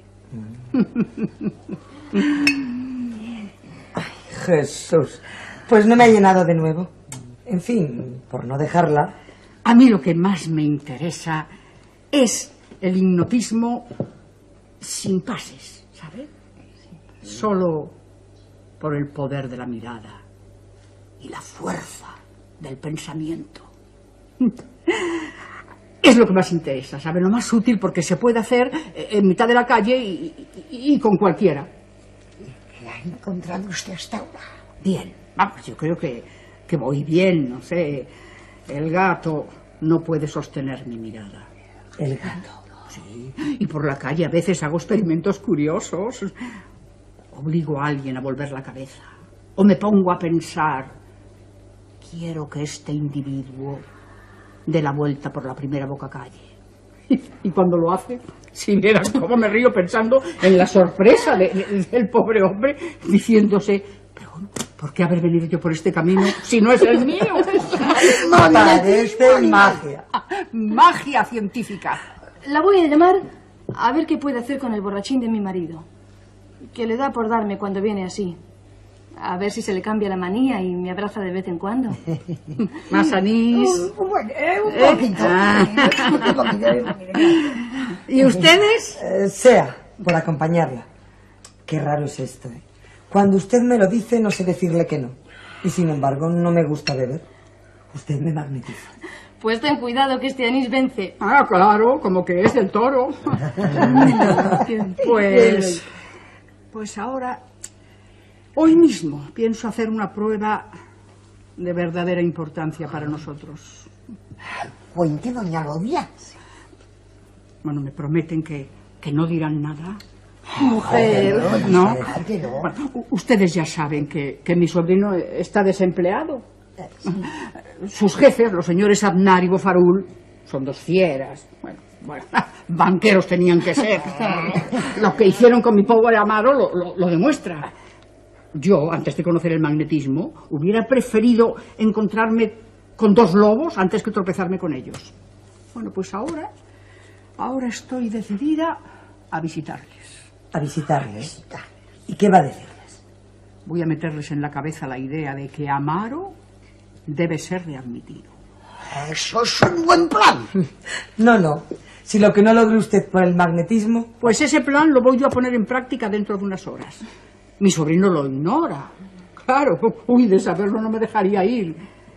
Pero su destino está en mis manos. Hazles favores a esa gente, Bofarull.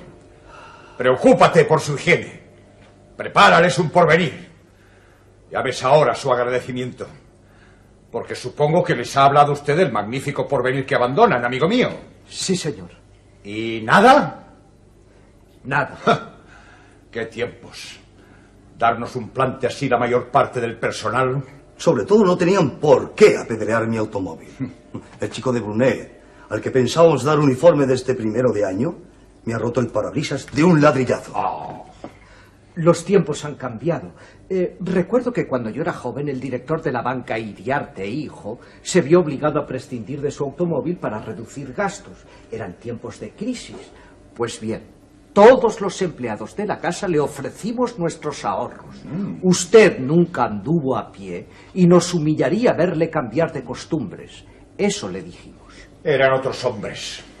Y cuando llegó la quiebra, le dijo a su contable, Monterola, estoy arruinado. No me queda otro recurso que hacer un disparate, es la costumbre. Siempre que se hunde una banca, hay un hombre que se da un pistoletazo. Pues ese hombre voy a ser yo, respondió Monterola, porque usted, señor Iriarte, tiene todavía mucho que hacer en el mundo. Y allí mismo, ¡pumba! Mm, Me gustaría tener empleados semejantes. En fin, es necesario encontrar inmediatamente personal para suplir al que nos ha dejado plantado. ¿Cuántos siguen en sus puestos? Eh, unos 20. Eh, pero me permito indicar que habrá que darles algún alimento porque no se atreven a ir a comer a sus casas. Eh, además que pierden mucho tiempo en ir y venir y el trabajo está muy retrasado. Sí, sí, sí, habrá que darles algo. Pero algo ligero. Una refacción a la inglesa. Que no les entorpezca. Bueno, yo había pensado traer pan y chorizo. Muy inglés. Muy inglés. Pase. ¡Pase! Se puede. Querido amigo, ¿ocurre algo por ahí fuera? Pues. Ay, ahora que recuerdo. Perdone usted, Olaya. Con todos estos conflictos hace que uno se olvide. Ya sé que acaba de fallecer su madre. Infeliz señora. Claro que tenía sus años. Le agradezco mucho que haya abreviado su dolor para volver a su puesto. Esta huelga nos ha dejado sin gente. Usted es de los leales, de siempre. Mire si nos hemos acordado de usted, que ayer mismo me decía el señor Bofarul, mire que irse a morir la madre de Olaya en estos días. Mi pésame, amigo mío. Muchas gracias, señor Aznar. Olaya. Muchas gracias, señor Bofarul. Y ahora vaya a trabajar, que falta nos hace. Sí, sí, sí, señor, sí. Las autoridades están, están hablando con demasiada dureza. ¿eh? Yo no lo creo así, Bofarul. No sé, Aznar, pero hasta cierto punto, ¿no? ¿Qué pasa? Perdonen ustedes que insista, pero es que me olvidaba de algo, algo muy grave. Muy grave. ¿Se ha pasado usted también al enemigo? ¿Quiere usted también aumento de sueldo? No, no, señor, no, no, es algo, algo más importante. Veamos. Ante todo, es preciso que le recuerde que toda mi vida, desde los 15 años, he pasado en esta casa. Déjenme que les diga también que tengo siete hijos y que el mayor ha tenido un desliz y, y ya tengo un nieto. Que estos hijos han estado enfermos muchas veces y que durante este tiempo he soportado cuanto un hombre puede soportar. Querido amigo, usted sabe cuánto nos interesamos por ustedes, por sus hijos, por sus nietos. Pero si viese lo ocupados que estamos ahora, Es preciso que le cuente. en que- ese caso, dígaselo al subdirector y él nos hará un resumen. Es el trámite. Hace un año la situación en mi casa se hizo insostenible. Juro por mi pobre madre que no podíamos vivir. Repasé nuestros gastos y vi que necesitábamos 30 duros mensuales más. No, no para caprichos, no, sino para... Por favor, amigo mío, comprenda que... Aquel mes cogí 30 duros de la caja. ¡Olaya! ¡Olaya! Y cada mes desde entonces volví a coger 30 duros. ¡Qué espanto! ¿Usted? Pero, ¿cómo pudo? Así ajustaba lo indispensable mi economía. Y sobre todo evitaba que mi pobre madre, ya muy enferma, se pusiera a trabajar de gobernanta en casa de los Arévalo. Ese trabajo aceleraba su muerte. Yo les dije que con el aumento que ustedes me habían concedido ya no era preciso que trabajara. Y ella... Ella les bendecía a ustedes. ¿Cuánto? Mientras vivió mi madre nunca quise declarar la verdad. Aunque la conciencia me corroía las entrañas. Pero ahora... ¿Qué cuánto? 1.700 pesetas en total. Porque un mes no me hicieron falta más que 20 duros. Pero... ¿Pero cómo lo ocultó usted? Soy un experto en mi trabajo. Nadie sería capaz de encontrarlo. Eh, Ya se lo explicaré luego, si lo desea. Muy lamentable. En fin, usted se ha buscado su propia perdición, Olaya. Usted lo ha tirado todo por la ventana. Tranquilidad, honradez, porvenir. Nunca se les ha ocultado el porvenir de esta casa. Pero se impacientan. No saben acomodarse a sus ganancias y deciden apoderarse del dinero ajeno. En fin, ¿para qué seguir hablando? Hay una ley. Ese es el intríngulis. Que hay una ley que lo prohíbe. Lo siento. Lo siento mucho, Olaya. Le ruego vuelva a su puesto y trabaje hasta que venga la policía. Sí, señor. ¿No crees que deberíamos haberle esposado? Claro que no hubiese podido seguir trabajando mientras viene la policía. Bastante nos ha robado. Un momento, señor, un momento. Ahora anuncio su visita al señor director. Espere un momento.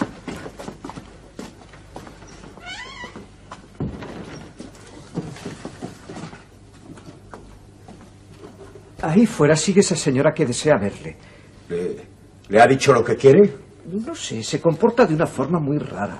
Me ha entregado este papel que dice pequeña cuenta correntista alarmada por sus ahorros. Motivo, la huelga.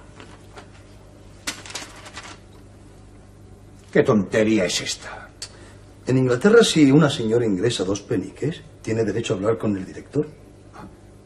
En ese caso, si lo hacen en Inglaterra, que pase. Sí, señor.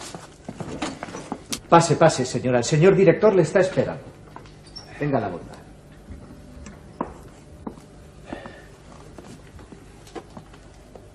Usted dirá.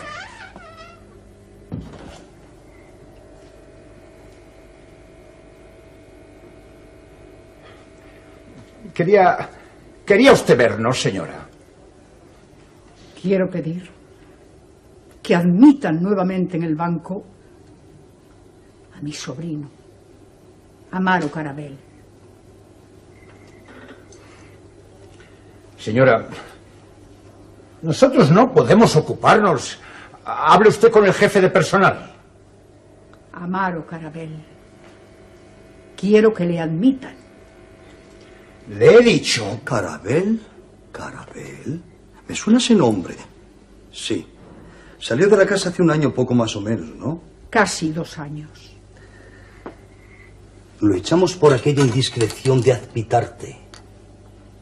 Ah, sí, recuerdo. No, no era mal empleado. Que venga. La sección de contabilidad está en cuadro. Señora, su sobrino de usted cometió una falta de lealtad. Y eso es muy grave. Si nosotros le perdonamos ahora, es porque somos y hemos sido siempre como unos padres para nuestros empleados. En el supuesto de de que haya corregido su carácter y por expresa intercesión del señor Bofarul, de quien todo el mundo conoce sus buenos sentimientos, le autorizamos a volver. ¿Te parece, Bofarul? Me parece, Aznar. Y me parece además que eres demasiado generoso. Ay, Pero en fin, ya que tú lo has dicho. Puede volver desde mañana a su puesto. Gracias. Muchas gracias. De nada. Muchas gracias y a usted también, que es, es usted un santo. ¿Cuánto, cuánto ganaba antes? 40 duros. Naturalmente que ahora, a pesar del perdón... Oh, bien, querido Aznar. No le rebajes más de cinco duros. ¿eh? Esto es lo que cuesta estar asociado con un santo. En fin, yo pensaba que por lo menos diez. Que sean cinco. Eres demasiado bueno, Bofarul. Así nos lo pagan. Gracias. Y a usted. Usted que, que- que es un santo. Ah, de nada, Adiós. de nada. Adiós. Entonces, dicen ustedes que mañana. Ma- Sí, sí, ya, ya se lo he dicho. El libro. Ay, ay, el libro. Gracias. Voy a encuadernarlo en oro. Pero, ¿qué libro? Me parece que está un poco... Oye, ¿tengo alguna mancha aquí entre las cejas? No sé, no, no, no hacía más que mirarme. Voy.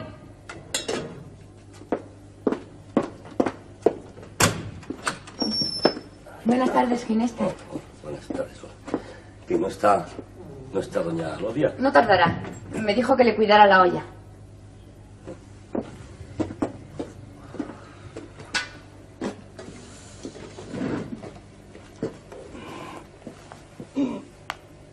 Por cierto, no. No tiene usted nunca nada que hacer en su casa. Tenía usted la ropa blanca hecha jirones. ¿Qué? ¿Hubo trabajo? ¿Trabajo? No sé, ¿por qué me lo pregunta? Porque como coge al andar.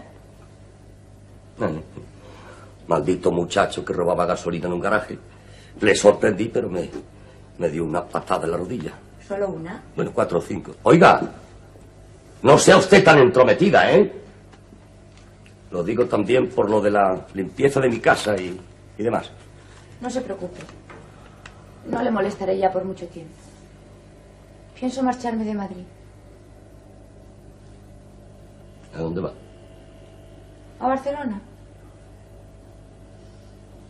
¿No me pregunta usted nada? No.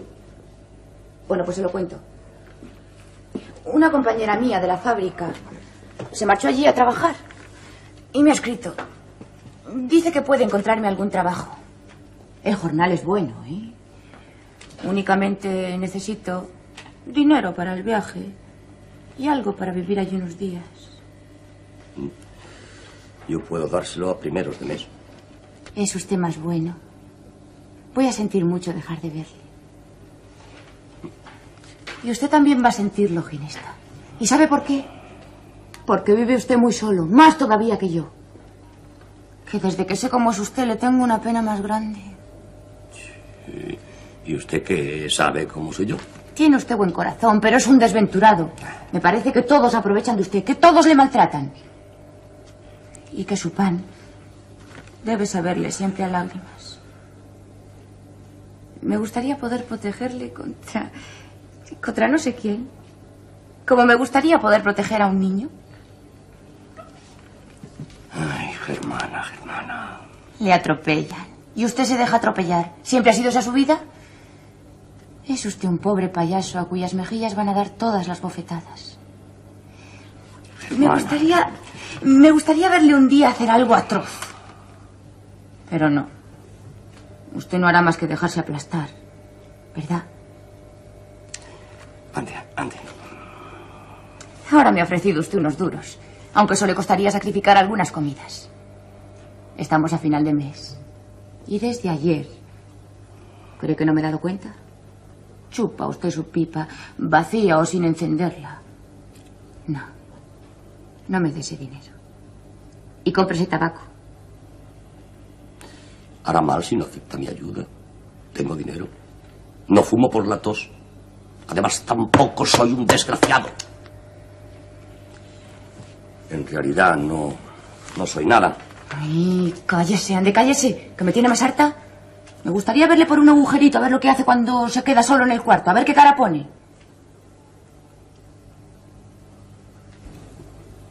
Escúcheme, Juan. Escúcheme lo que tengo que decirle y piénselo bien. ¿Quiere que me vaya a Barcelona? Yo Sí, usted. No puedo. Váyase, es usted muy. ¿No hay más ropa que coser? ¿No hay nada que arreglar en su cuarto? ¿O en su vida? Venga. Dígame lo que tantas veces le he oído. Que la mujer más buena es una infame. Y que la soledad es menos peligrosa. Y cuando me haya dicho todas esas tonterías. Hábleme con el corazón. Quiere que me quede. Pero chiquilla, si yo... Yo soy, vamos, yo no soy... Y, tú eres una chiquilla que confundes la pena que te doy con otro sentimiento. No. Antes sí me daba pena. Me daba tanta pena que, que era como si me doliese todo el cuerpo. Pero ahora sé que le quiero. Además, la compasión es un camino para querer, ¿no? Le tengo pena. Y le quiero, Juan.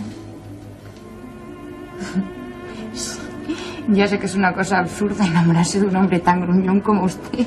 No tiene perdón de Dios, ¿verdad? Pero chiquilla... Pero has pensado que vamos a hacer de dos miserias una. Puede. Pero la mía es una miseria alegre. Y enseñaré a reír a la tuya. Será una miseria divertida. La más divertida de todas las miserias. Y menos solitaria que la de antes. Así que trabajando mucho, señor Ginesta. Pues sí, tratando de encontrar los sospechosos, pero no he podido. ¿Y usted? Ya, lo de siempre. Bueno, pues hasta luego. Eh, Señor Ginesta. Sí, dígame. ¿le, le apetece tomar un vinito en casa? Tengo una botella de marca. Hombre, siendo así... ¿eh? Venga, venga, conmigo. Este es el vinito. A ver qué le parece. Ah, vamos a ver.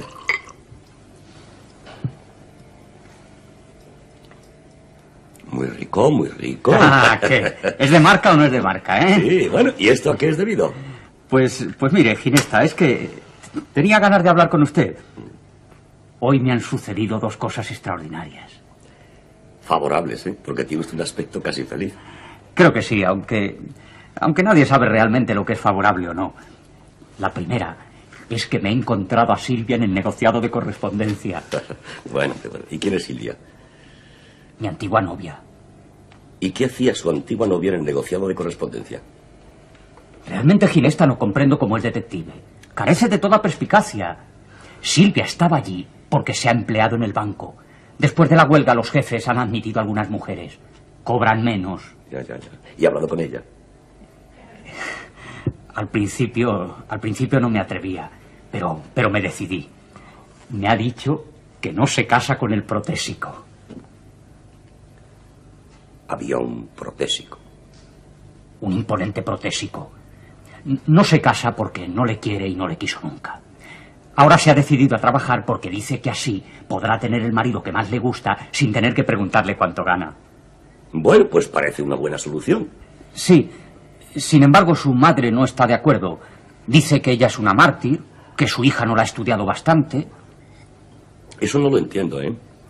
¿Qué es lo que hay que estudiar en esa señora? Pues mire, la verdad es que yo nunca lo supe. Esa mujer siempre estaba repitiendo la misma cantinela. No me estudias, hija, no me estudias. Ella misma no lo aclara, pero la muchacha, la muchacha es un ángel. Lo del protésico no lo hacen todas. No, claro que no. Pero usted la tenía bien dominada, ¿eh? sí. Ginesta, el matrimonio es el mejor estado del hombre, ¿verdad? El mío de ahora sí. ¿Y el otro suceso extraordinario cuál ha sido? Se va a reír si se lo cuento. pues siempre es bueno reírse, ¿no? Mire, al, al- al salir del trabajo, he tropezado con Gregorio, uno de los cobradores. Había regresado al banco sin tiempo de ingresar lo recaudado durante el día. Más de 30.000 duros. Sí, entonces decidió llevárselo a casa. Es un hombre de toda confianza y a veces lo hace. Pues mire usted por dónde el bueno de Gregorio se baja del tranvía, dejando en el asiento junto a mí su cartera con todo el dinero. ¡Qué suerte! ¿Y qué hizo usted? Tardé en darme cuenta. Yo mismo no la vi hasta que no iba a pearme. Treinta mil duros al alcance de mi mano, de los que nadie podría culparme. Su gran ocasión. Sí, sí, mi gran ocasión. Tantas veces como había pensado en tomar la revancha, y allí estaba, al alcance de mi mano. Un dinero que, que era de todos y no era de nadie, porque al fin y al cabo, me decía yo, un banco, ya me entiende, no es como una persona que lo ahorra y... Bueno, pero, pero, pero ¿qué es lo que hizo usted? Pues correr, correr, correr, correr con la cartera hasta llegar a casa del pobre Gregorio que estaba a punto de tirarse por la ventana. Imagínase la escena, Gre- eh, Gregorio allí en la ventana y todo el mundo arremolinado y diciendo, pero ese hombre, que se va a tirar ese hombre. Y yo desde abajo gritándole, Gregorio, Gregorio. eh, Gregorio, las perras, que traigo las perras. Y, y de pronto noté como que Gregorio no me entendía. Y mire que yo era claro porque decía, las perras, Gregorio, las perras. Pero ¿sabe por qué no me entendía? Me di cuenta en ese momento, porque era andaluz. Claro. Entonces, entonces yo le dije, ¡Eh, Gregorio! ¡Gregorio! ¡Que traigo las perras! ¡El parné! Y en cuanto yo hablar de las perras y el parné, el, el Gregorio se le puso una cara y entonces, entonces le salvé. Subí a su casa y, y le entregué el dinero. Se extrañará usted que lo haya devuelto después de mis propósitos que usted conoce. Usted no podía hacer otra cosa. ¿Quiere que le diga una gran verdad? Diga lo que se le antoje. Una verdad fundamental. La verdadera ley que rige los destinos humanos. Pues oigan usted, Carabel. Yo sé mucho más de la vida que usted. Mi historia es larga y mi experiencia mayor. Oiga esto. Solo hay una fuerza en el mundo. La maldad. El bueno triunfa accidentalmente y es tan débil que por instinto busca la compañía de los otros buenos. Donde hay un bueno, está siempre el germen de una sociedad. Un bueno piensa constantemente en fundar una agrupación, una hermandad. Los buenos se unen para perseguir a los malhechores, para dar de comer a los hambrientos.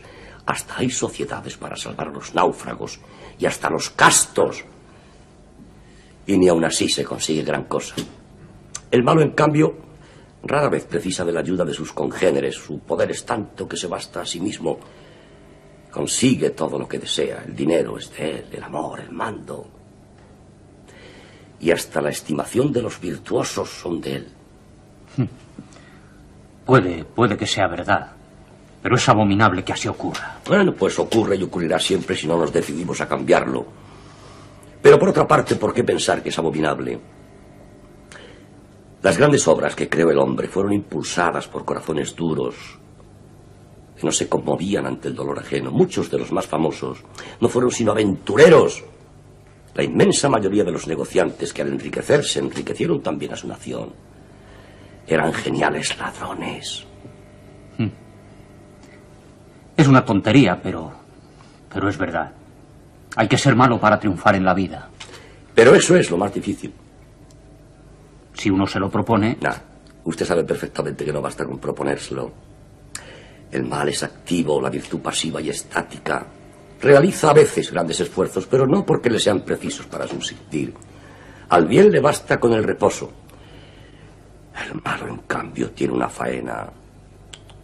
No se la envidia. Pues hace un momento me pareció que envidiaba usted los resultados. Los resultados sí, pero ¿cómo llegar hasta ellos? Usted, precisamente usted sabe que no es fácil ser un canalla. Lo que nos gustaría es tener dinero, ser poderosos. Pero todo lo que hay que hacer para llegar hasta eso, robar, matar, seducir mujeres ajenas. Le aseguro a usted, Carabel, que hace falta mucho coraje y mucha paciencia para obtener esos resultados. ¿Se acuerda usted de nuestras viejas discusiones cuando usted me decía, ay, si yo pudiese dejar de ser honrado? Usted quiso dejar de serlo y ¿qué consiguió? Nada. Malhechores son los banqueros, Aznar y Bofarul. Y lo fue mi mujer. Trepadores que para subir clavan sus garfios en la carne viva. Ellos no quisieron dejar de ser honrados, seguramente. Seguramente no lo fueron nunca. O si lo fueron de niños, optaron por el otro camino muy pronto. ¿Quiere decir eso entonces que no hay esperanza? No, por ese camino no. Pero ¿y los que cambian de condición? Los malos que se hacen buenos. Eso es un simple fenómeno de depauperación. Y las fuerzas se agotan. No, no, no, no, no lo creo. Vaya usted. Es usted un infeliz, Carabel. Como yo mismo. Pero yo lo sé y me resigno con mi condición. Que no, que no, no le creo. Y usted tampoco se cree a sí mismo. Demuéstreme lo contrario. No, no sabría demostrárselo. Esto de ser malo o ser bueno no es una ciencia exacta. Por fortuna nos movemos en un mundo de, de acciones visibles y de intenciones dadas eh, que la mayor parte de las veces no podemos mostrarlo sino a nosotros mismos y a nuestra conciencia.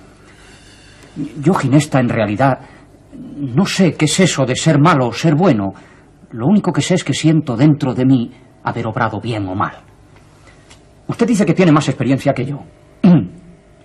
y es verdad. Pero puede que eso que dice sea solo parcialmente cierto.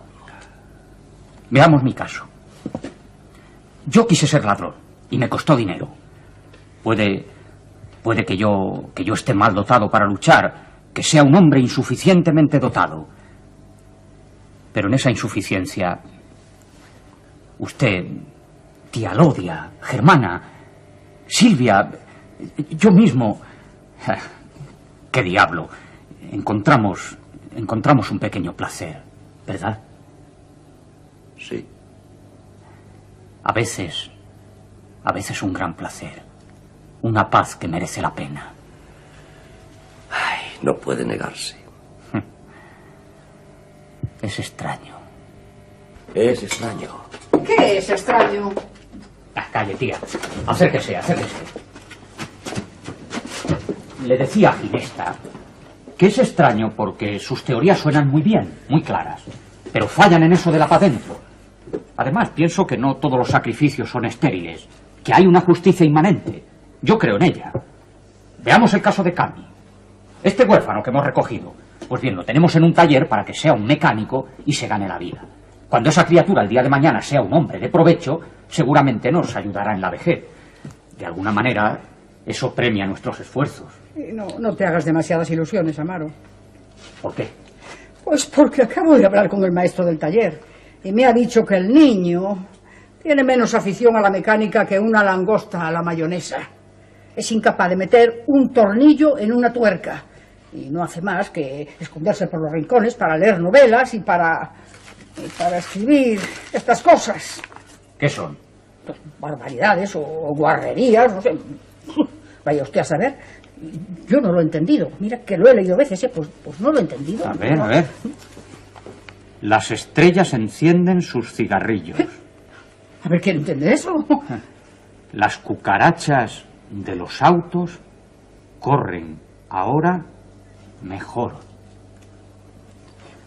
Por esas calles libres de protésicos. Tía, hemos acogido en casa a un poeta de vanguardia.